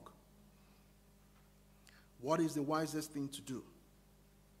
Do you press forward in hope that you will find a diversion to the correct route? Do you turn left, right, enter the bush and hope that you will bump into the correct route? These questions compel us as Africans to ask the most important question, one that we regularly avoid asking. How did we get here? My people has a proverb that goes this way If someone does not know where the rain started beating him, he is unlike, is, is not likely to know where the rain will stop beating him. Now, I have provided a theoretical, philosophical explanation of why we behave the way we do and run down our states today. I've connected it to what made Asian Africans not to make the type of progress they should have made having formed the moment from the time they formed the, com the community, thereby leaving us vulnerable when Europeans came. That made slavery possible, made colonialism possible, made apartheid possible, made land disposition possible. Do you know the murders and carnage and evil that colonialists had done on this continent? In Congo, they killed over, the Belgians killed about 20 million Congolese during their colonial time. But you, we, we don't usually see this in history or these statistics in books because they also control knowledge production. If you doubt me, Professor Madise can tell you about this. Write a proposal of a book you want to write, submit it. Let that book be something that challenges any of this order. It will be rejected. So you and you if you if you if you seek funding to write it, you won't get that funding. So you won't write that book. And then your brother who writes what they want to see is the one that will get the funding. And his book will be published. So this is a book by an African saying A, B, C, and D. But A, B, C, and D that he has been made to say. So, the final two sentences. Taking our little analogy into account, going back from that journey might seem like the most unpleasant choice. You've notched up 700 miles. Yet, it is the wisest choice. For what it is worth, valuable lessons will be learned in that tedious backward march. Lessons that will help us to understand who we are, where we are coming from, where we are going, how to get there, those who can lead us there, and the mistakes to avoid. I thank you.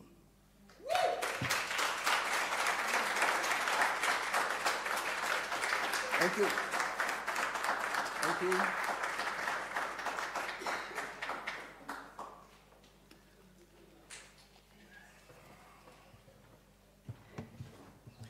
Thank you. Thank you. Let's put our hands together again for the.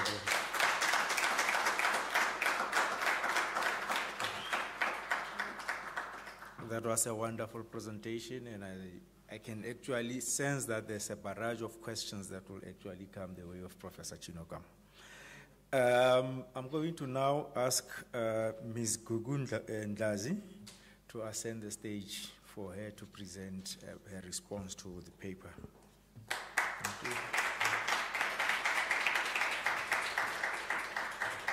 At least, Prof, we are bringing somebody young. We're not actually caught up in this.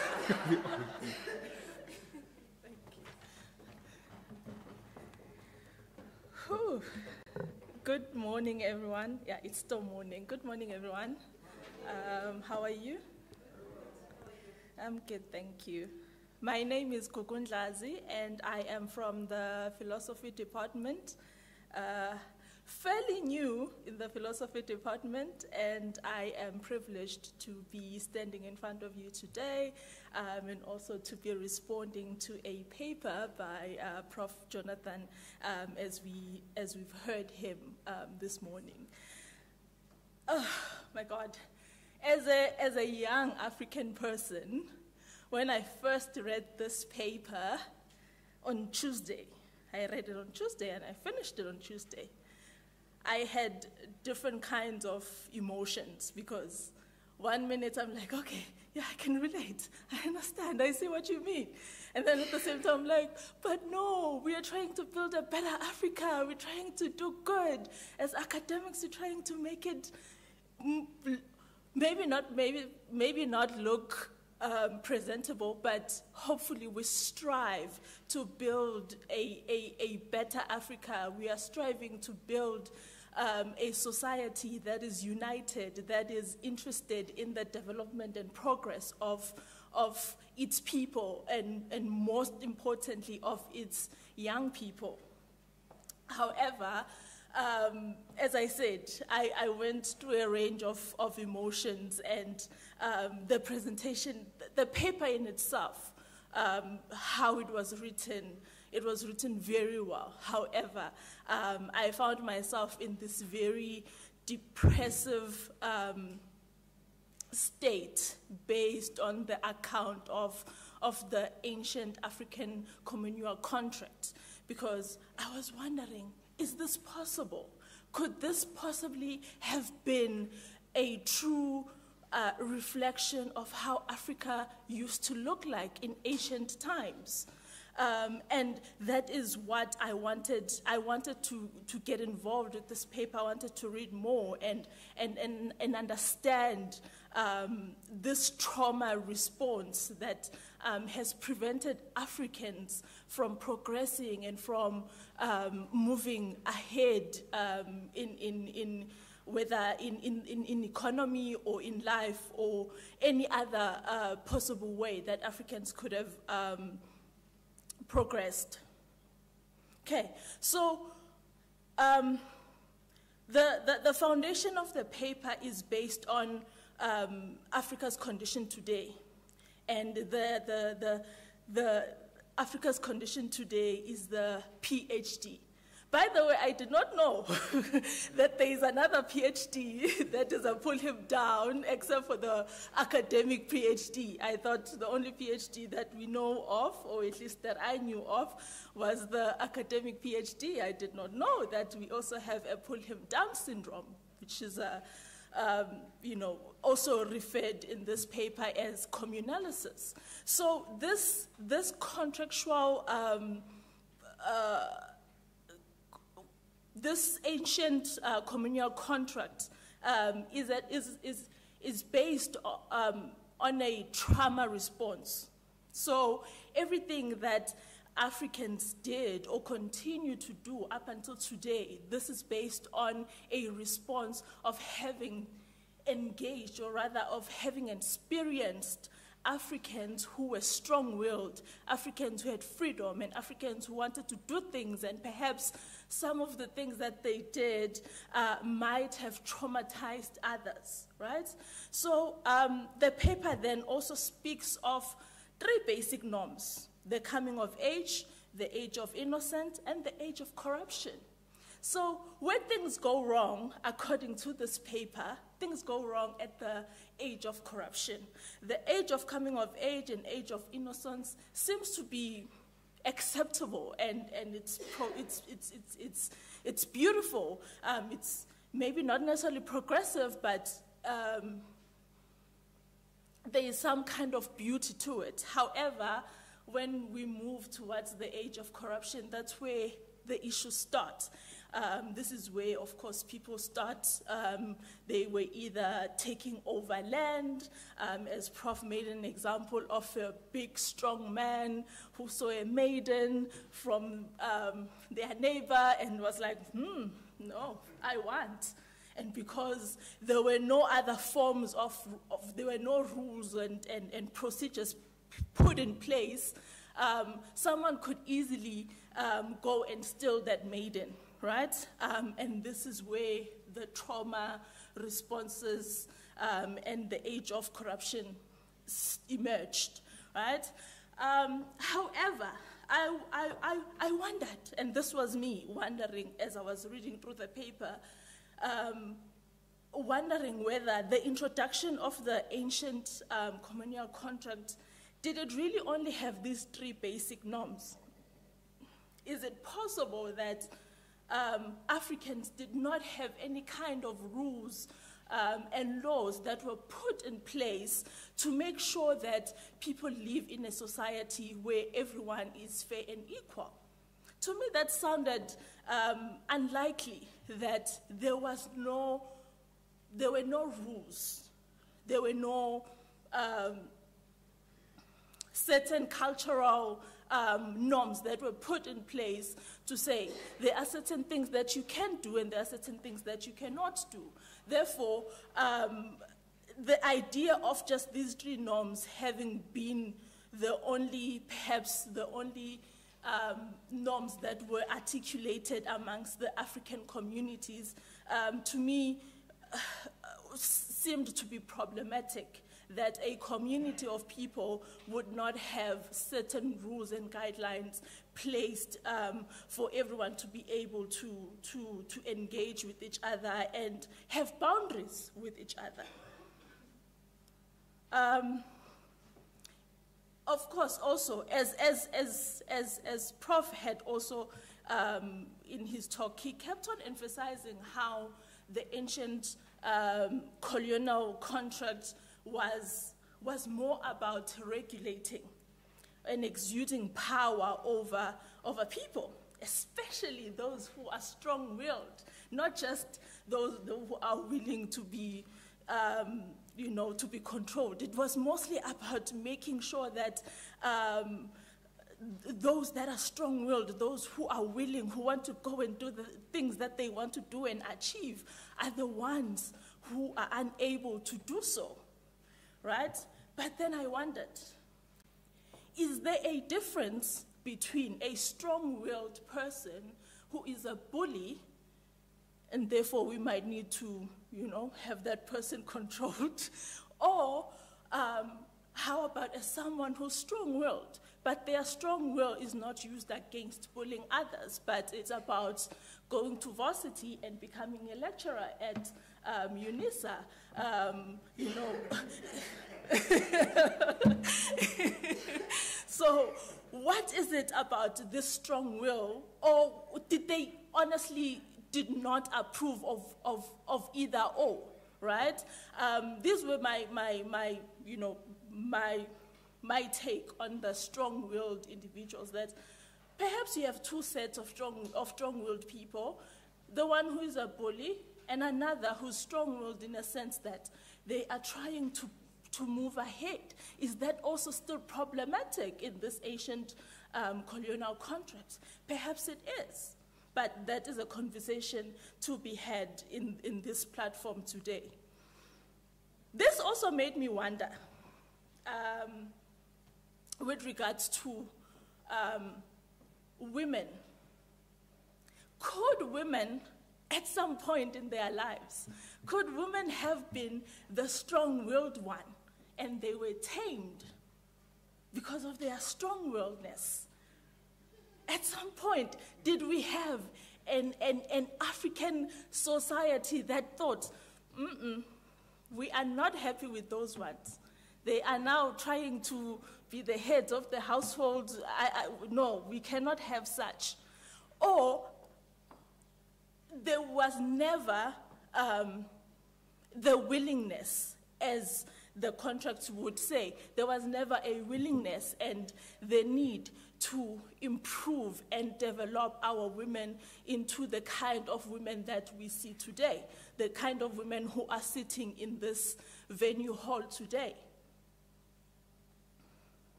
Okay.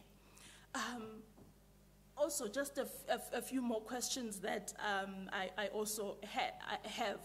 Um, one of those questions was, um, since the, the ancient contract was about um, oppression, regression, and gatekeeping, um, how did we then, is it possible that we could have still had people who were able to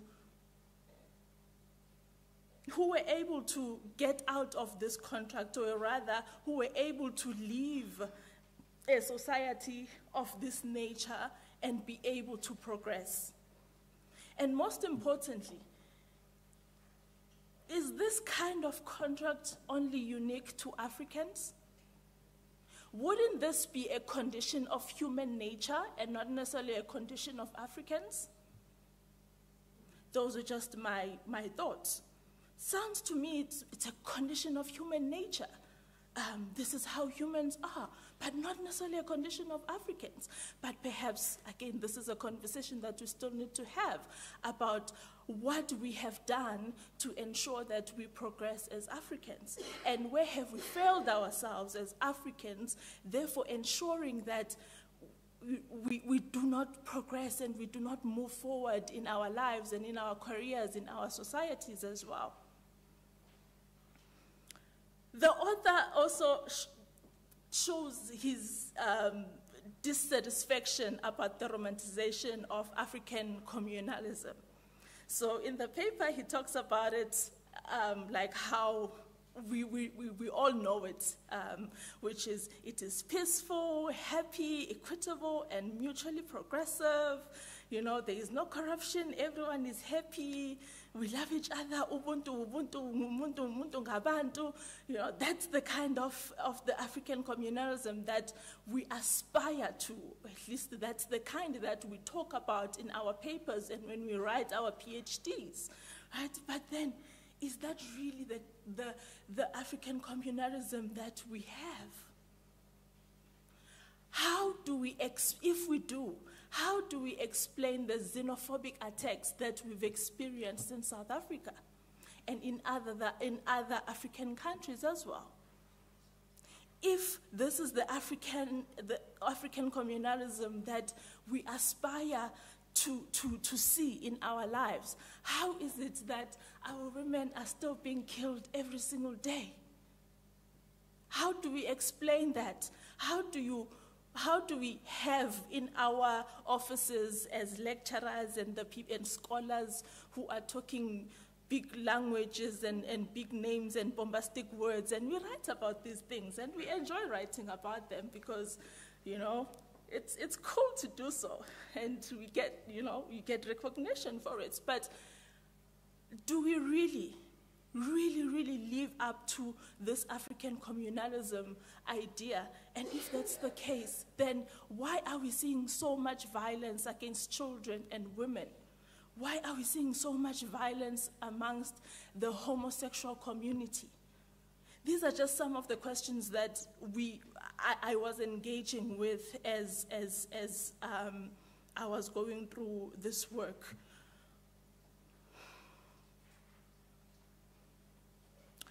So, um, Prof. Jonathan spoke of three psychological um, symptoms that we see in communalysis, right?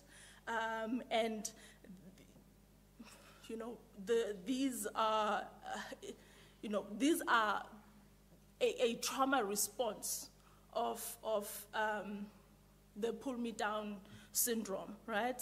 Um, but I wondered, as I said again, um, could this be a human nature problem and maybe not necessarily an African um, problem? Take, for instance, the wolf mentality. The, the wolf mentality is, is aggressive, it's territorial, it exhibits negative solidarity. The victims of this mentality manifest a tendency for territorial for territoriality through negative solidarity, right? Um, so this kind of um, mentality, uh, it makes it, you know, the, the victims uh, be concerned about their ethnicity, you know, um, class and racial territory and aggression and so on and so forth, um, which then made me wonder. Apartheid sounded a whole lot like the wolf mentality. Which then brings me back to the point that I made. Is this an African problem? Is this an African condition problem? Or is this a human nature problem? Could we possibly say, no, it's not only just an issue that we've seen in Africa, but this has been an issue perhaps that um, we see in, in Europe and many other countries as well? Right? So um, the paper, of course, um, as, as, as, as Prof discussed as he was standing here, um, he talks a lot about communalysis and the, its effects and, and what it has done and what it continues to do. Um, and he then suggests that we need a new contract to replace the old one because the old one is not working anymore. We need a new contract. So he says in this new contract, the new contract needs to inspire progressive mindsets and it needs to prepare a new social orientation driven by positive solidarity. And these new strategies of progressive mindset and social orientation would, um, would be the driving force of the, the new contract, right? And as we've heard um, in, in the lecture today, and I, I would think all of us here have similar questions. And one of those questions is how will the new contract address communalysis? How will the new contract address the issues of Afrophobia? How will the new contract ensure that people progress? How will the new contract address the issue of negative solidarity and move that or change that into positive solidarity. That is what I, I, would assume that all of us, as we stand here, are interested in hearing more about because that is what we want to do. We want to find solutions. Perhaps we've, we've found a problem. This is our problem. How do we address it? How do we change? How do we move from you know, sitting on this problem and talking about this problem and discussing this problem into a more now into a, a, an idea or an approach that addresses the problems of communalysis that we've discussed, um, which has been created by the old communal contract.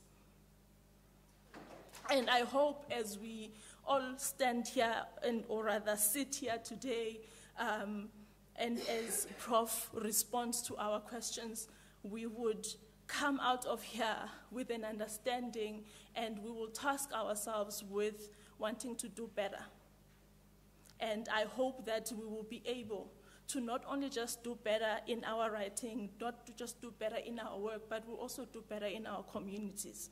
I personally believe in the idea of African, uh, of Af- Africanism and the idea of community because I am who I am and what I am because of the community that raised me. Thank you very much.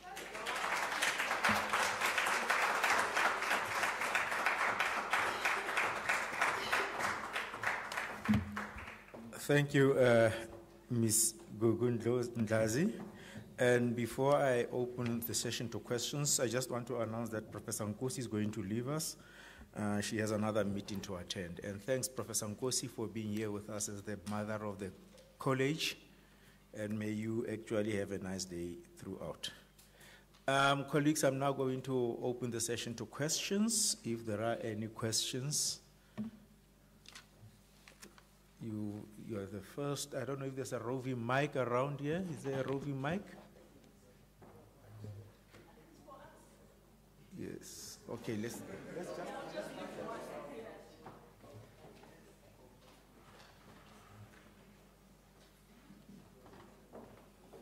Okay, the first one here.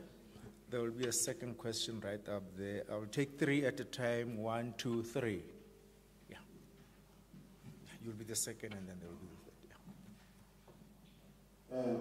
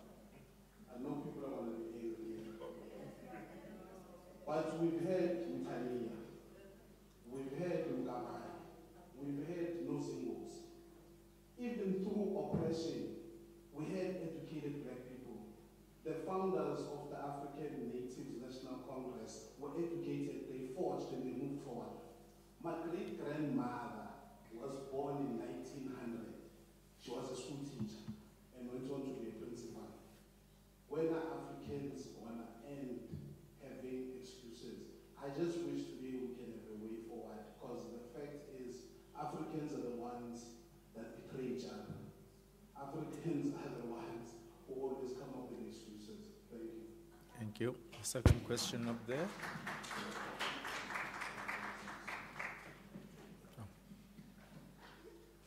Thank you. Uh, Thank you both for your presentation.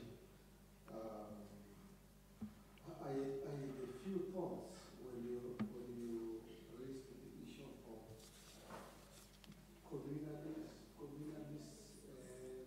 analysis.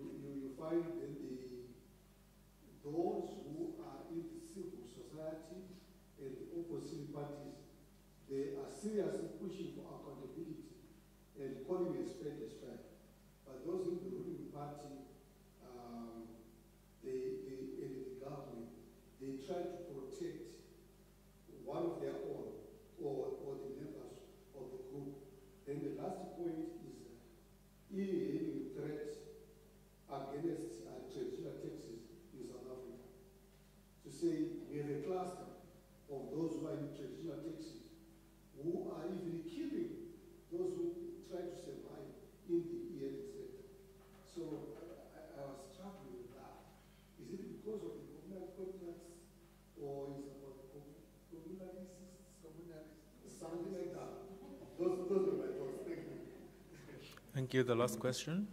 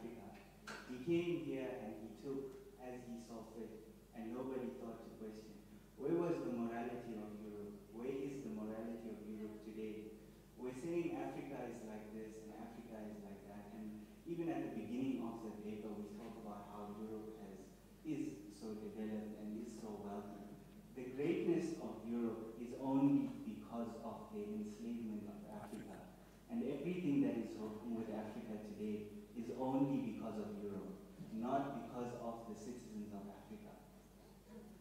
Um, to, to, to, to, maybe just establish that point and, and maybe just making my last remark, the only thing that enabled Europe to colonize Africa was the fact that they had guns.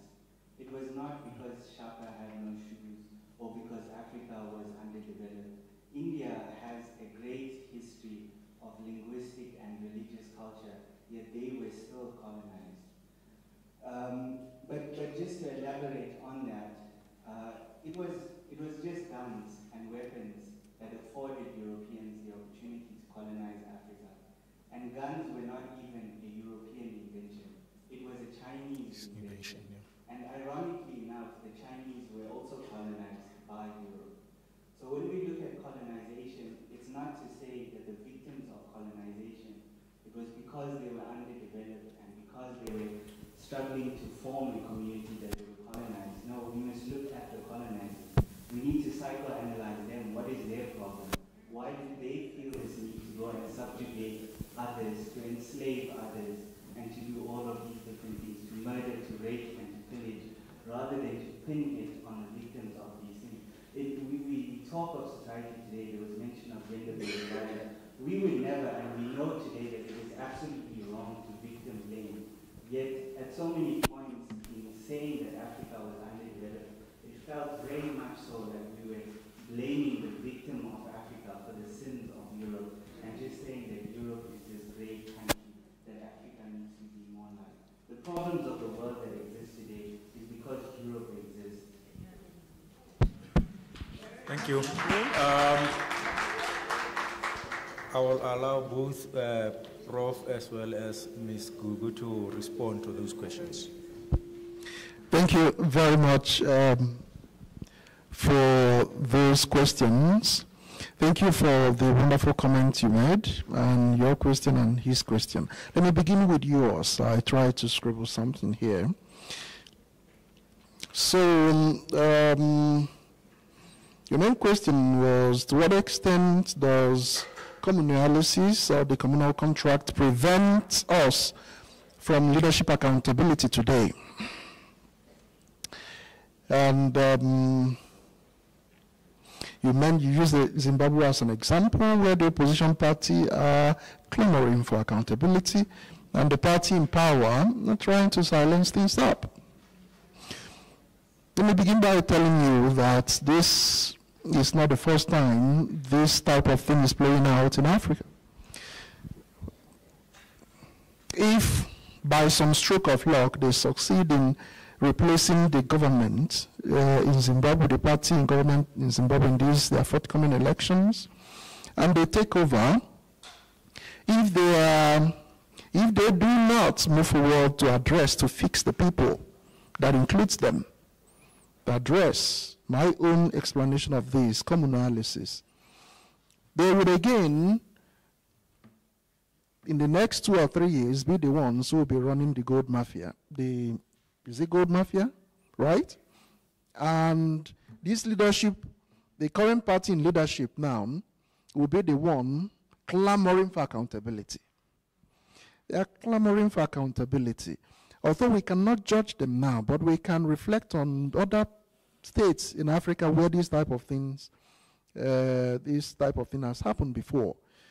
Uh, someone who is suffering from communalysis is not what he says, also suffering from crisis of thought, what he believes and says are different from what he actually does.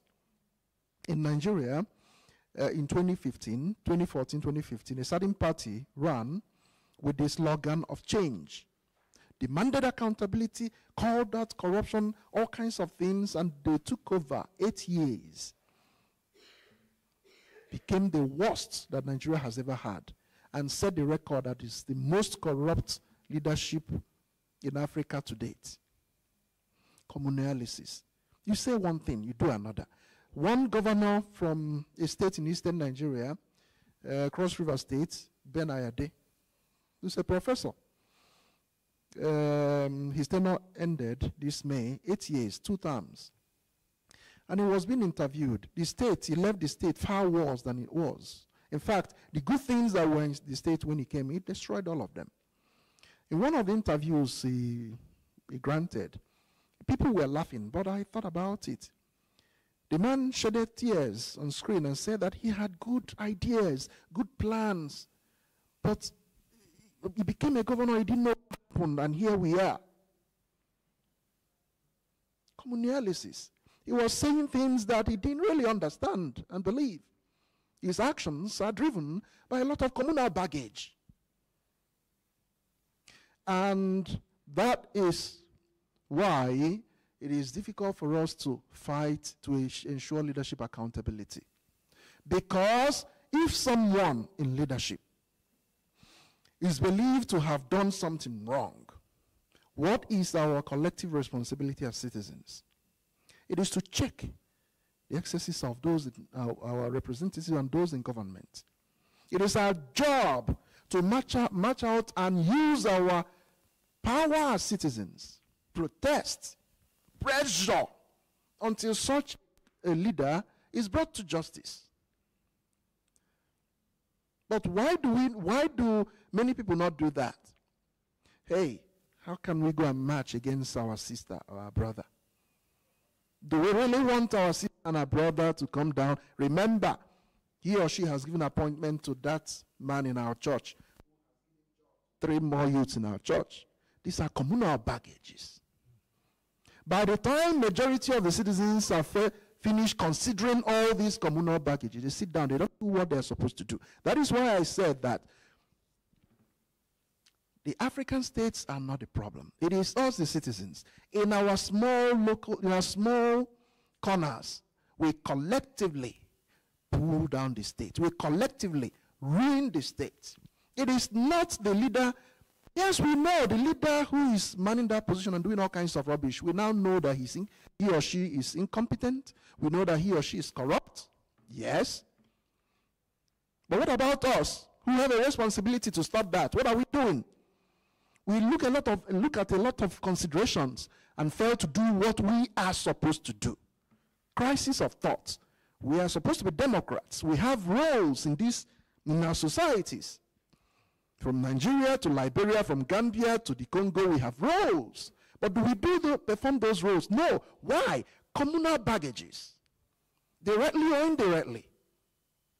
Okay, now I come to your, you raised quite a lot of questions. Uh, the first one being a humorous one, you asked whether I also suffer from communalysis.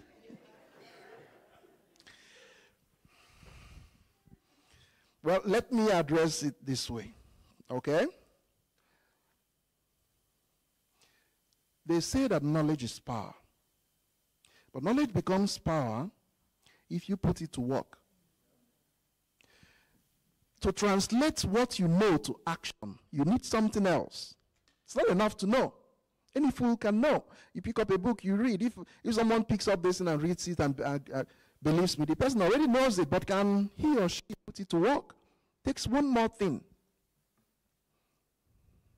It takes enlightenment, and by enlightenment I don't I mean deep illumination.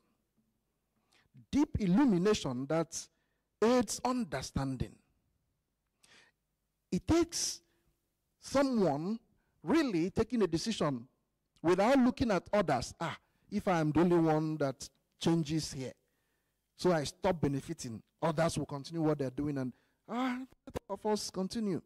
It takes someone who will decide on his own to change without looking at whether others are willing to do so. And as a person, I wake up every morning. Do you know my prayers? My prayer every morning when I wake up is, let me become a better me. I don't go to church. I don't pray. There's no reason to do all those. It's not because I don't believe that there's some divine uh, intelligence there. But if that divine intelligence must have been the one that gifted me with a brain, and that's all the grace that I need. It is my responsibility to put that brain to work. I wake up every morning, let me become a better me. And I strive every day to do that.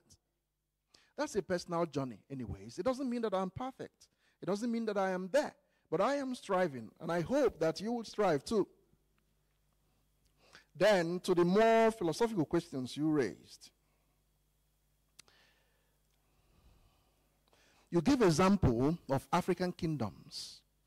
And empires, the great Mali Empire, the Oyo Empire, all kinds of kingdoms, uh, Kush, the um, Sudan, and all that, who had direct relationship with people across the Mediterranean, the Phoenicians and the rest of them, and traded with them, who maintained connection with Europe, the cultural, the, the, the, the, the, the were archaeological excavations in the um, lower Neolithic age of archaeology, for those in archaeology here, there are excavated artifacts that actually show that some 2005 to 5,000, uh, 2005 to 3,000 years ago, the cultural progress in Europe was almost at the same level, was at the same level with cultural progress in Africa. And then some historians will explain that the desiccation of the Sahara cut off because no culture grows on its own. There's always the benefit of cultural interaction for growth. Okay? And explained that Africa stopped growing because the connection with other cultures was cut off by the Sahara. That's one explanation. And I'm putting forth my own explanation. Remember, I did not say that all Africans were in some uh, in huts when Europeans came. I said that there were uh, kingdoms, there were exceptions. In my paper, I, I explained it there clearly. All right? But even those ones, despite the progress they made, if we group all of them at a corner, the other, the rest of African communities will still be majority who did not make sufficient progress. Even these ones that made progress, you know, they do not appear to have sustained that progress. And again, I am not blaming Africans who were the victims of slavery while living Europe. I said at the beginning of this lecture when I read it out that I will not defend, if I recall my words, the um, ungodly, depraved colonialists and slavers for the terrible things they did. I will not defend all those things. I said that. But I said that despite all the terrible things they've done to Africa, they, there's one particular thing that continues to affect us also. And that thing was something that we produced ourselves, our own devices, and I called it the communal contract. And so, I did not say that all Africans were, um, did not make any progress in ancient times. No, I didn't say that. Then, he also said that, he gave example of Medians. Yeah, he blamed uh, Europe. Of course, I blame um, Europe for all the terrible things they, they did. But I am trying to be honest, like this person that first commented said. Let us also look inwards. While we look at our enemies outside, let us also look inwards and see if there are other things we have done to ourselves too. And uh, that was what led to the ideas that I have uh, put forward here. And then you said that um, you said that something about um, uh, that Europe was able to conquer Africa because they had guns and gun. Yeah, the gunpowder was invented by the Chinese. Yeah, I agree. But I was speaking in, in context. All right, in the 18th century, when the Europeans who settled in, uh, in, in, in, in Cape Town today, stretching towards Somerset and the rest of them, when they found themselves in conflict with King Shaka, Okay? By the way, whose headquarters, his capital was around Bulawayo at that time. And King Shaka had about 100,000 soldiers in his army. As at that time, That's a great, that's a mighty army. But their weapons were just spears. They didn't even have shoes. The Europeans had ships because they had to move from Cape Town to the coastal line of KwaZulu Natal to invade from there, to come in from there. The first uh, group of um, emissaries they sent to deceive Shaka. We are coming to discuss and all that. Whereas the ultimate motive was to study, know about more about the terrain, know his army, their strength, their weaknesses, and all that. They had ships, they had guns, they had cannons, their soldiers had boots, they had medicine, their own developed. Of course, Shaka had voodoo witch as his, is the doctor that cares for everyone and all that. They stood a chance. These guys were less than 3,000 they could summon. Shaka had 100,000. But who lost? Who lost eventually? Stood no chance. Why? Because they were far advanced. Imagine that Shaka had guns too. Let's say that he doesn't even have cannons. Europeans will not, will not even last a day. Will not even last a day. And all that. So that was the point I was making.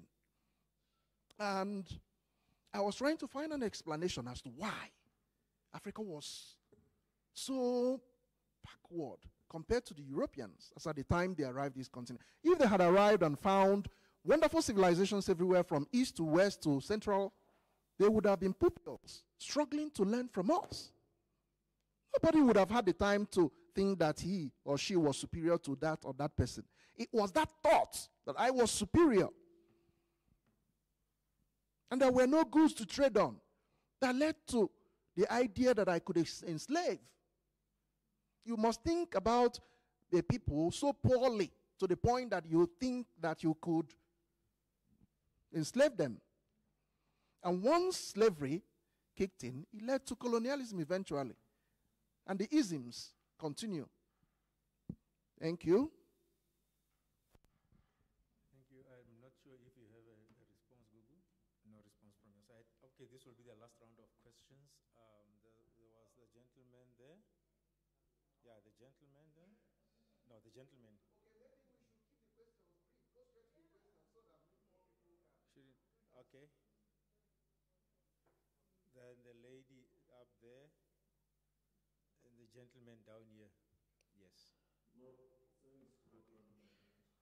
My, my name is Rotman I just want to hear from the uh, colleagues uh, in terms of this African colonial contract as to how does it affect African economies in ensuring that it, it, it produces much needed jobs and take most of African people out of uh, poverty.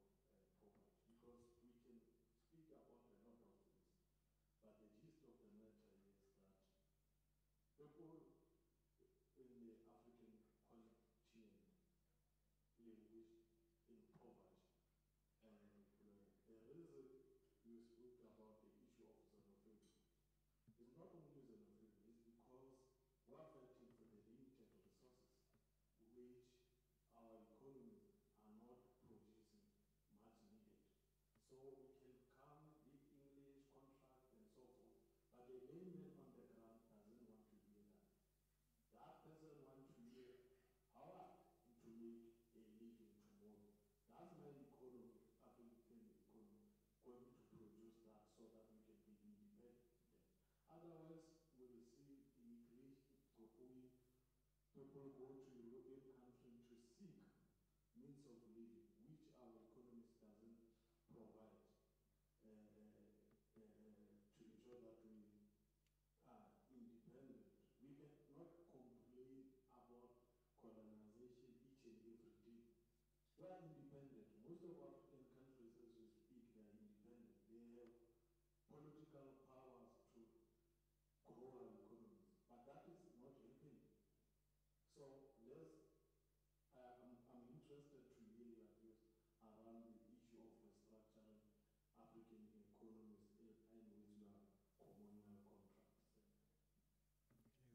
question right at the back there.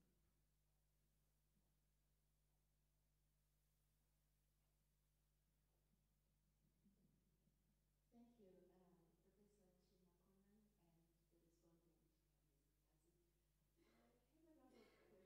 Will you please, will you, just one question and please introduce yourself, please?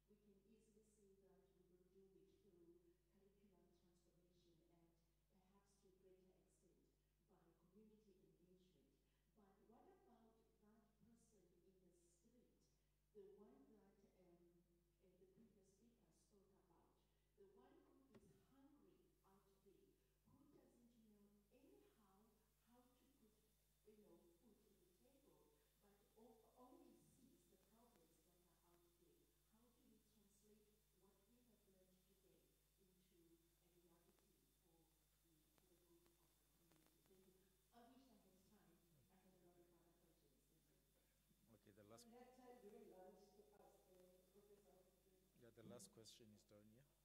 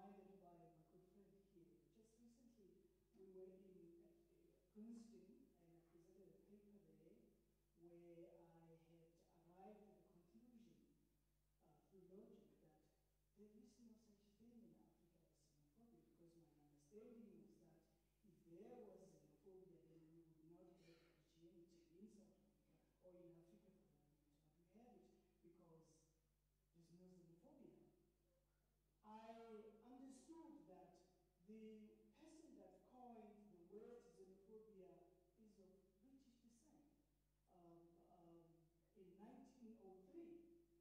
And that person coined xenophobia to define. So now we find ourselves within that definition and we struggle so much to, um, uh, to, to show ourselves as being xenophobic or not xenophobic. So when we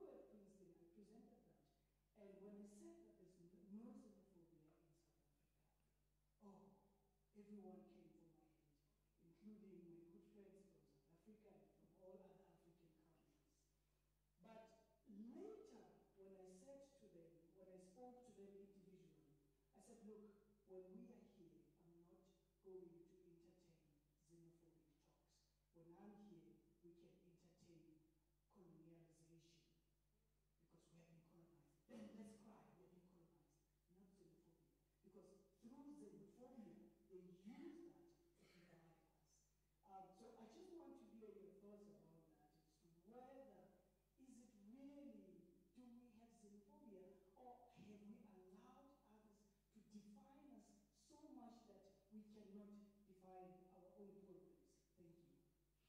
Thank you. Um, just before you, you, you, you, you, you uh, respond, Prof, um, based on all the questions that have been raised here, I'm not sure if, but this will be my view, if all that has been said boils down to one thing Africa has been domesticated.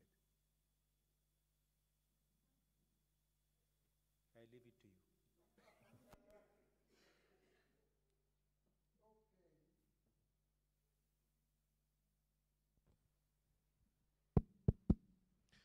Thank you very much. I we'll try to be as brief as possible because I can see that some people are itching to go. Okay, so someone asked a very important question. How, you know, how, how, how, how does the communal contract underdeveloped Africa today, okay, in other words, how can we restructure African economies today? The premise of my argument is that to fix the state, we must first of all fix the people. It doesn't matter how many laws we put in place and policies, it doesn't matter the brilliance of economic agenda that we pass at the parliament, it doesn't matter how much we have to fund it, even if we have to more money to fund it, fund it than necessary. In the 70s, uh, Olusegun Obasanjo, as a military dictator in Nigeria, uh, through his um, uh, Ibrahim Gambari, uh, described his um, regime as a, um, a regime of wastage. It was the time of the Gulf um, uh, wars in um, Cold War coming to an end, all kinds of military hotspots, America. So there was oil boom. And Nigeria made so much money from oil. And Obasanjo just said that the problem that Nigeria has is not money, but how to spend it. So it's not about the programs we set in place. Every day in these African states, they come up with all kinds of wonderful programs. They bring experts from World Bank and all kinds of places, some coming to actually guide, others coming to mislead. If we don't fix people, nothing will work. Because somebody will manage the money, somebody will implement whatever policies we have agreed and framed. And if they carry with them the baggage of the communal baggage, compromises will eventually destroy whatever good plans we've set in motion. So, my take is that let us fix us first. Let us fix us. And shouldn't be a problem to get a plan that will work. We've got abundant human resources. Then, someone asked a very touching question How do we reach the masses? Okay, now we have shared this knowledge here. This, this event was properly announced, but the hall was not filled up. If the if the agenda of today's meeting was to share money, the crowd in UNISA will run through the gates. Communalysis, we don't know things that matter. We don't know what really benefits us. We think of something, we do another. So it's not the, the academics themselves and people who belong to the university have not even turned up to benefit. Now, so it's going to be much a, a, a tall order to even get the masses out there to understand what we are talking about. Yet, it is a battle that must be won. Yet, it is a conversation that must be had.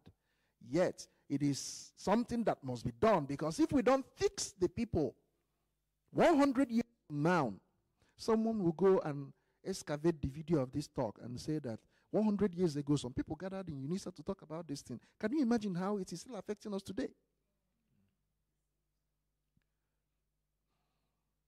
So, but it is something that civil societies and governments must lead in time at the level of organization and mobilization. It is something that you and I must lead at the, at the individual level. We must show the family is the, is, is the society writ large. We must show this, if, we must show this in our families. The kids grow up imbibe and learn from us. We take it out there to our neighbors and all that. However, every one of us is, has a responsibility to do something about this. Communalysis is just a fancy word. Crisis of thought, failure of cities, these are fancy words that describe real life problems impeding Africa's progress. And this allows me to comment a little on the wonderful uh, question that uh, my colleague here raised. Is this men- regressive mentalities African problems, or are they just human? Are they human problems? They are human problems, but they are African problems in a special way. If you follow the logic of my argument, the, the communal contract that was struck at the ancient times was precipitated by trauma and mutual distrust. That imbue that contract with negative solidarity that people only come together to fight off threats. They don't come together, they don't trust each other well enough to come together to build something big and mighty. And that slowed progress. Everyone was scoring on their own, left off vulnerable, and made racialism possible, slavery possible, colonialism possible. Those things now have created new rounds of trauma for us. And much because many of our people were also complicit in these evils. Some of our people went, were the ones hunting our fellow brothers and catching them and going to take them to the Europeans. Some of our people played and, and were stooges and worked with the colonialists to make sure and tell them our secrets to enable them to conquer us. Because of the African complicity in all these things, there's also again a new mutual distrust. So we can come together again to fight tough. The humiliation of these activities makes us reject everything Western. And we're quickly spoiled to organize. Think of how many occasions that people have mobilized, different groups in South Africa here have mobilized, matched the US Embassy, matched the different union building to, to, to, to, to protest. In South Af- in Cape Town, the, the taxi drivers are doing their own. But ask yourself, how many times really have groups and people gathered, you know, that way to build something great? I gave an example. If you go to Facebook and uh, LinkedIn and, and all these social medias, those who are there, you see uh, quite many African brothers and sisters who have found themselves in the corridors of power and wealth. Now ask them, how many consortiums have they come together to create? Must the government be the one to create jobs for people? How many consortiums have they created to give a lot of jobs to their own people? It's easy to point out that that um, company is owned by Europeans and they're employing only their own people. Yes, that's bad. National citizen, local mindset. The society will not make progress. But what again are you people doing? You- They go to Dubai and spend one million rand holidaying. They leave two billion rand in the bank doing nothing. The money that should be creating wealth. We have to fix the people first. And our brother or our sister is fingered for this terrible thing that they have done, unworthy of the office they occupy, and we just sit. Racial politics, national citizens, local mindsets. We don't know that these all these actions, our failure to play our roles, we are occupying this small space. Our job is to attend to people, direct them where to go, or help them file something and all that. And you're not at your post when you should be there. And someone comes and you don't even apologize. Someone is there, has been waiting for you for 30 minutes, has not received attention. How can you go to an office for an attention? You spend more than 30 minutes without receiving an attention. Do you know the collective economic sabotage that leads to? Many people waste tons of time that should be devoted towards wealth creation, waiting to receive service that should come to them in minutes. Sometimes you go there one month, you haven't received that service. Somebody wants you to give him or her some money, and because you don't have it, you don't go there. That's you're not progressing because the system is not allowing you. Should I go on and start breaking these things down? We in our small corners contribute in pulling down the state. Communalysis is not African problem, but it's in a special way an African problem because Europe passed through the communal state. They also warred. If you if you go to the social contractarians, um, Thomas Hobbes, John Locke, and um, J.J. Rousseau, okay, you see how Hobbes described the what he calls state of nature before the formation of the first community in Europe. That state of nature was nasty, brutish, and short. People killed one another and did all kinds of terrible things, similar to the age of corruption that I tried to paint. But when they gathered to form a, a society, Hobbes calls it, they formed the a dictatorial one, a Leviathan was in charge. The laws they made was not only to prevent people from hacking down one another, but most importantly, to pave way for advancement of their society for individuals there. I am thinking that the kind of community we established was not that type with positive solidarity. Ours was with negative solidarity. So we actually work together, but only when there's a collective threat, because collective threats able to rouse us. Because that was why we thought, they thought in the ancient time they formed that community. And slowed progress. And then these new rounds of trauma and mutual distrust has also damaged us in this era. We must fix the people in order to fix the state. I think, um, okay, my friend here said that he told them that there's no xenophobia in South Africa. Well, xenophobia comes from the Greek word xenos and phobia meaning fear of strangers. Okay? And uh, it is taken by scholars in the context of uh, natives seeing people who have come from other places, you know, being not being comfortable with them, thinking that these people are take, denying us this or taking what belongs to us and all that. Now, I know that some other African scholars have questioned whether what goes on in South Africa could be called xenophobia. Some have come up with the concept of Afrophobia in this place fear of fellow Africans.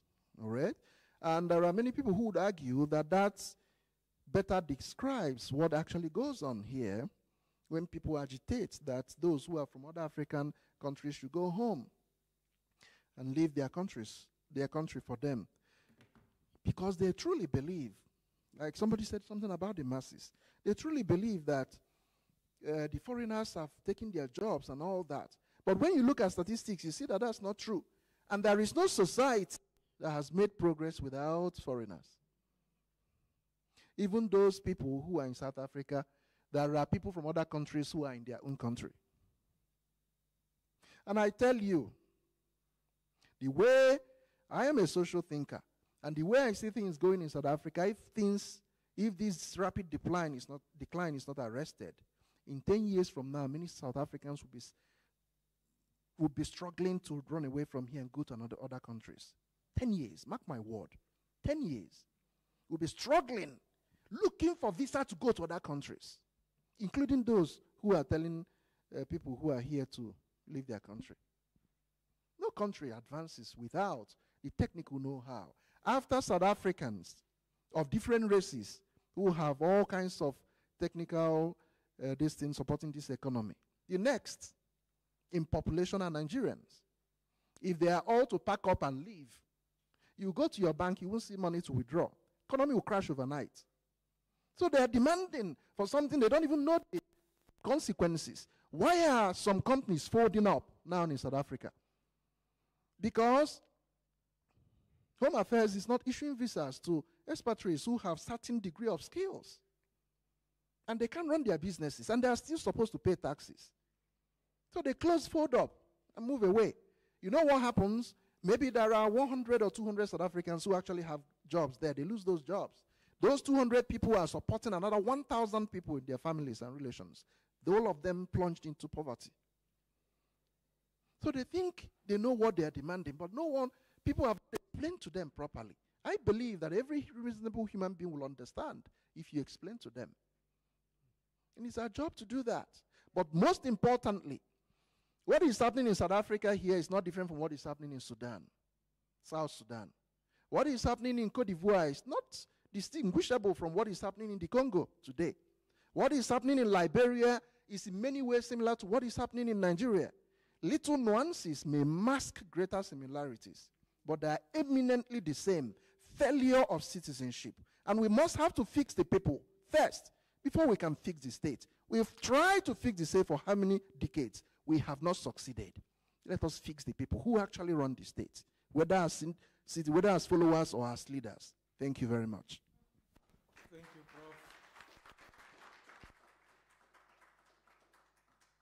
In essence, both of you are saying the same thing.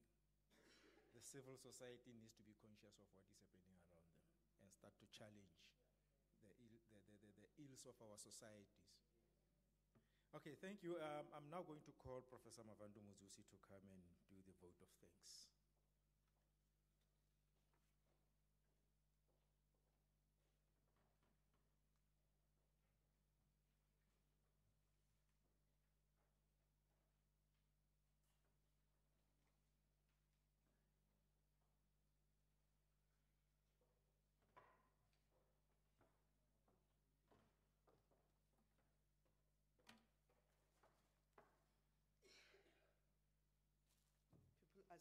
Seeing me with bags full of seats. Thank you very much. I'd like to um, first thank the organizer. Um, is Dr. Sethi here? Vuyo Sethi? Okay, firstly, I would like to, to, to thank uh, Dr. Vuyo Sethi and the team for identifying our guest speaker. They really did a very, very good job. So we'd like to thank them for that. Then Mus Muhupi, Winnie, and the team for making sure that this day become realized. We are really, really thankful for that. For the marketing team, for all the marketing you did, you did your best. Unfortunately, people can be called and end up not coming. Uh, but really, I can't blame you for the empty hall. You did your best marketing. And um, for those who have come, I'm so, so grateful for you honoring this. And I was saying, sometimes people used to say, if they were here, they would have heard this one. So now, because you are here, you have heard but uh, I, I was just tempted in my mind to say, sometimes when people are not coming, you need to go to them. And I was, when I was thinking about what our guest speaker was saying about communalism, I felt like maybe we can invite him for 20 minutes, Prof. Sikalo, during the board meeting, and we give him 10 minutes. Because I think uh, 10 or 20 minutes, because board meeting almost everybody attends. So if they don't come to you, you go to them. Uh, because I've seen that this diagnosis happening in almost all the departments, al- almost all the levels. But if um, we, we make sure that this message reach our college only first, we'll be able to roll it out. So uh, our keynote speaker, I'm so, so, so grateful for what you, you have said. When you were talking about the issues related to, uh, you know, I, the good thing is I can't read what I have written. so that's, that's how I am. that's, that's who I am.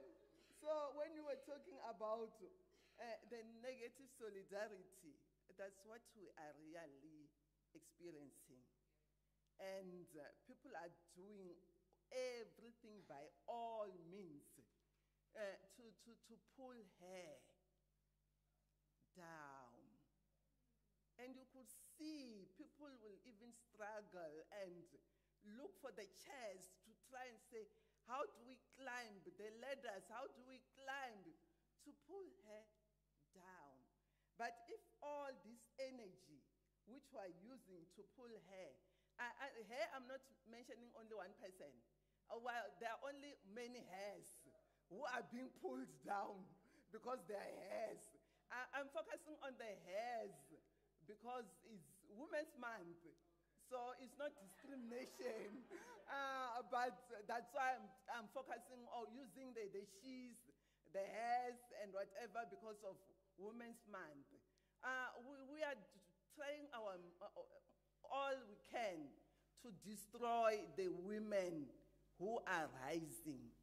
But if we start to say, whatever action am I am doing, am I doing the PhD, like pull her down? Or am I leading our university to have a lot of PhD, a real PhD, of, uh, which is only attained through a positive solidarity?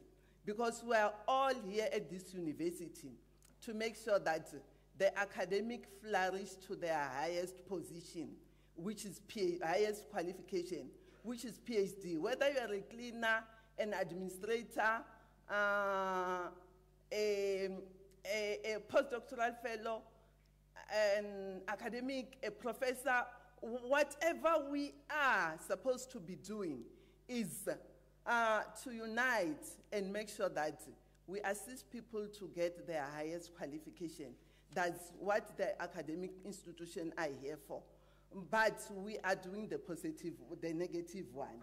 So let's try our best to change and analyze our behavior. Whatever steps we're doing, are we doing the PhD? Or are we doing PhD? Okay. so, but I just want to ask to analyze ourselves.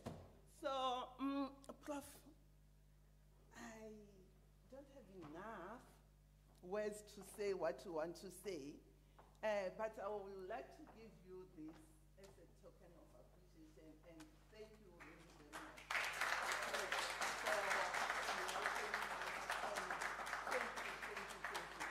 So it's not for the first time you hear from us.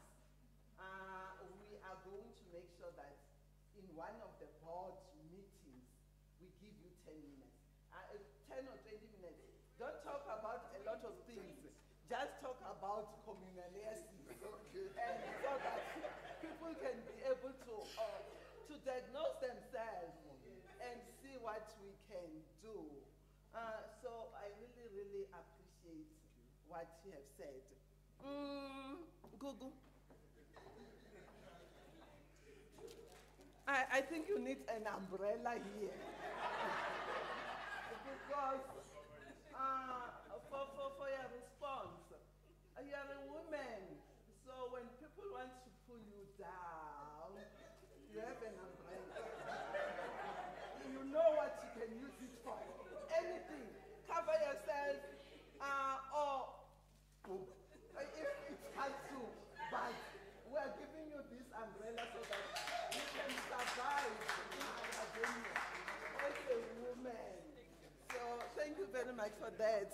I'd also like to thank uh, our executive dean in absentia mm, for welcoming us and our program director for directing this program so well. I, I wish we had more time. We, next time, maybe we might need a day uh, so that we shouldn't uh, um, switch off people when they want to, to speak. Because Africa Speak is about speaking. Uh, the keynote speaker is just leading, but we need to, to speak. So the next one, uh, make it an- the whole day. Don't worry, we'll fund. You know that I'm the financial manager of the college. so we'll find it so that we shouldn't really silence other speakers. Thank you very much. Okay, lunch will be served.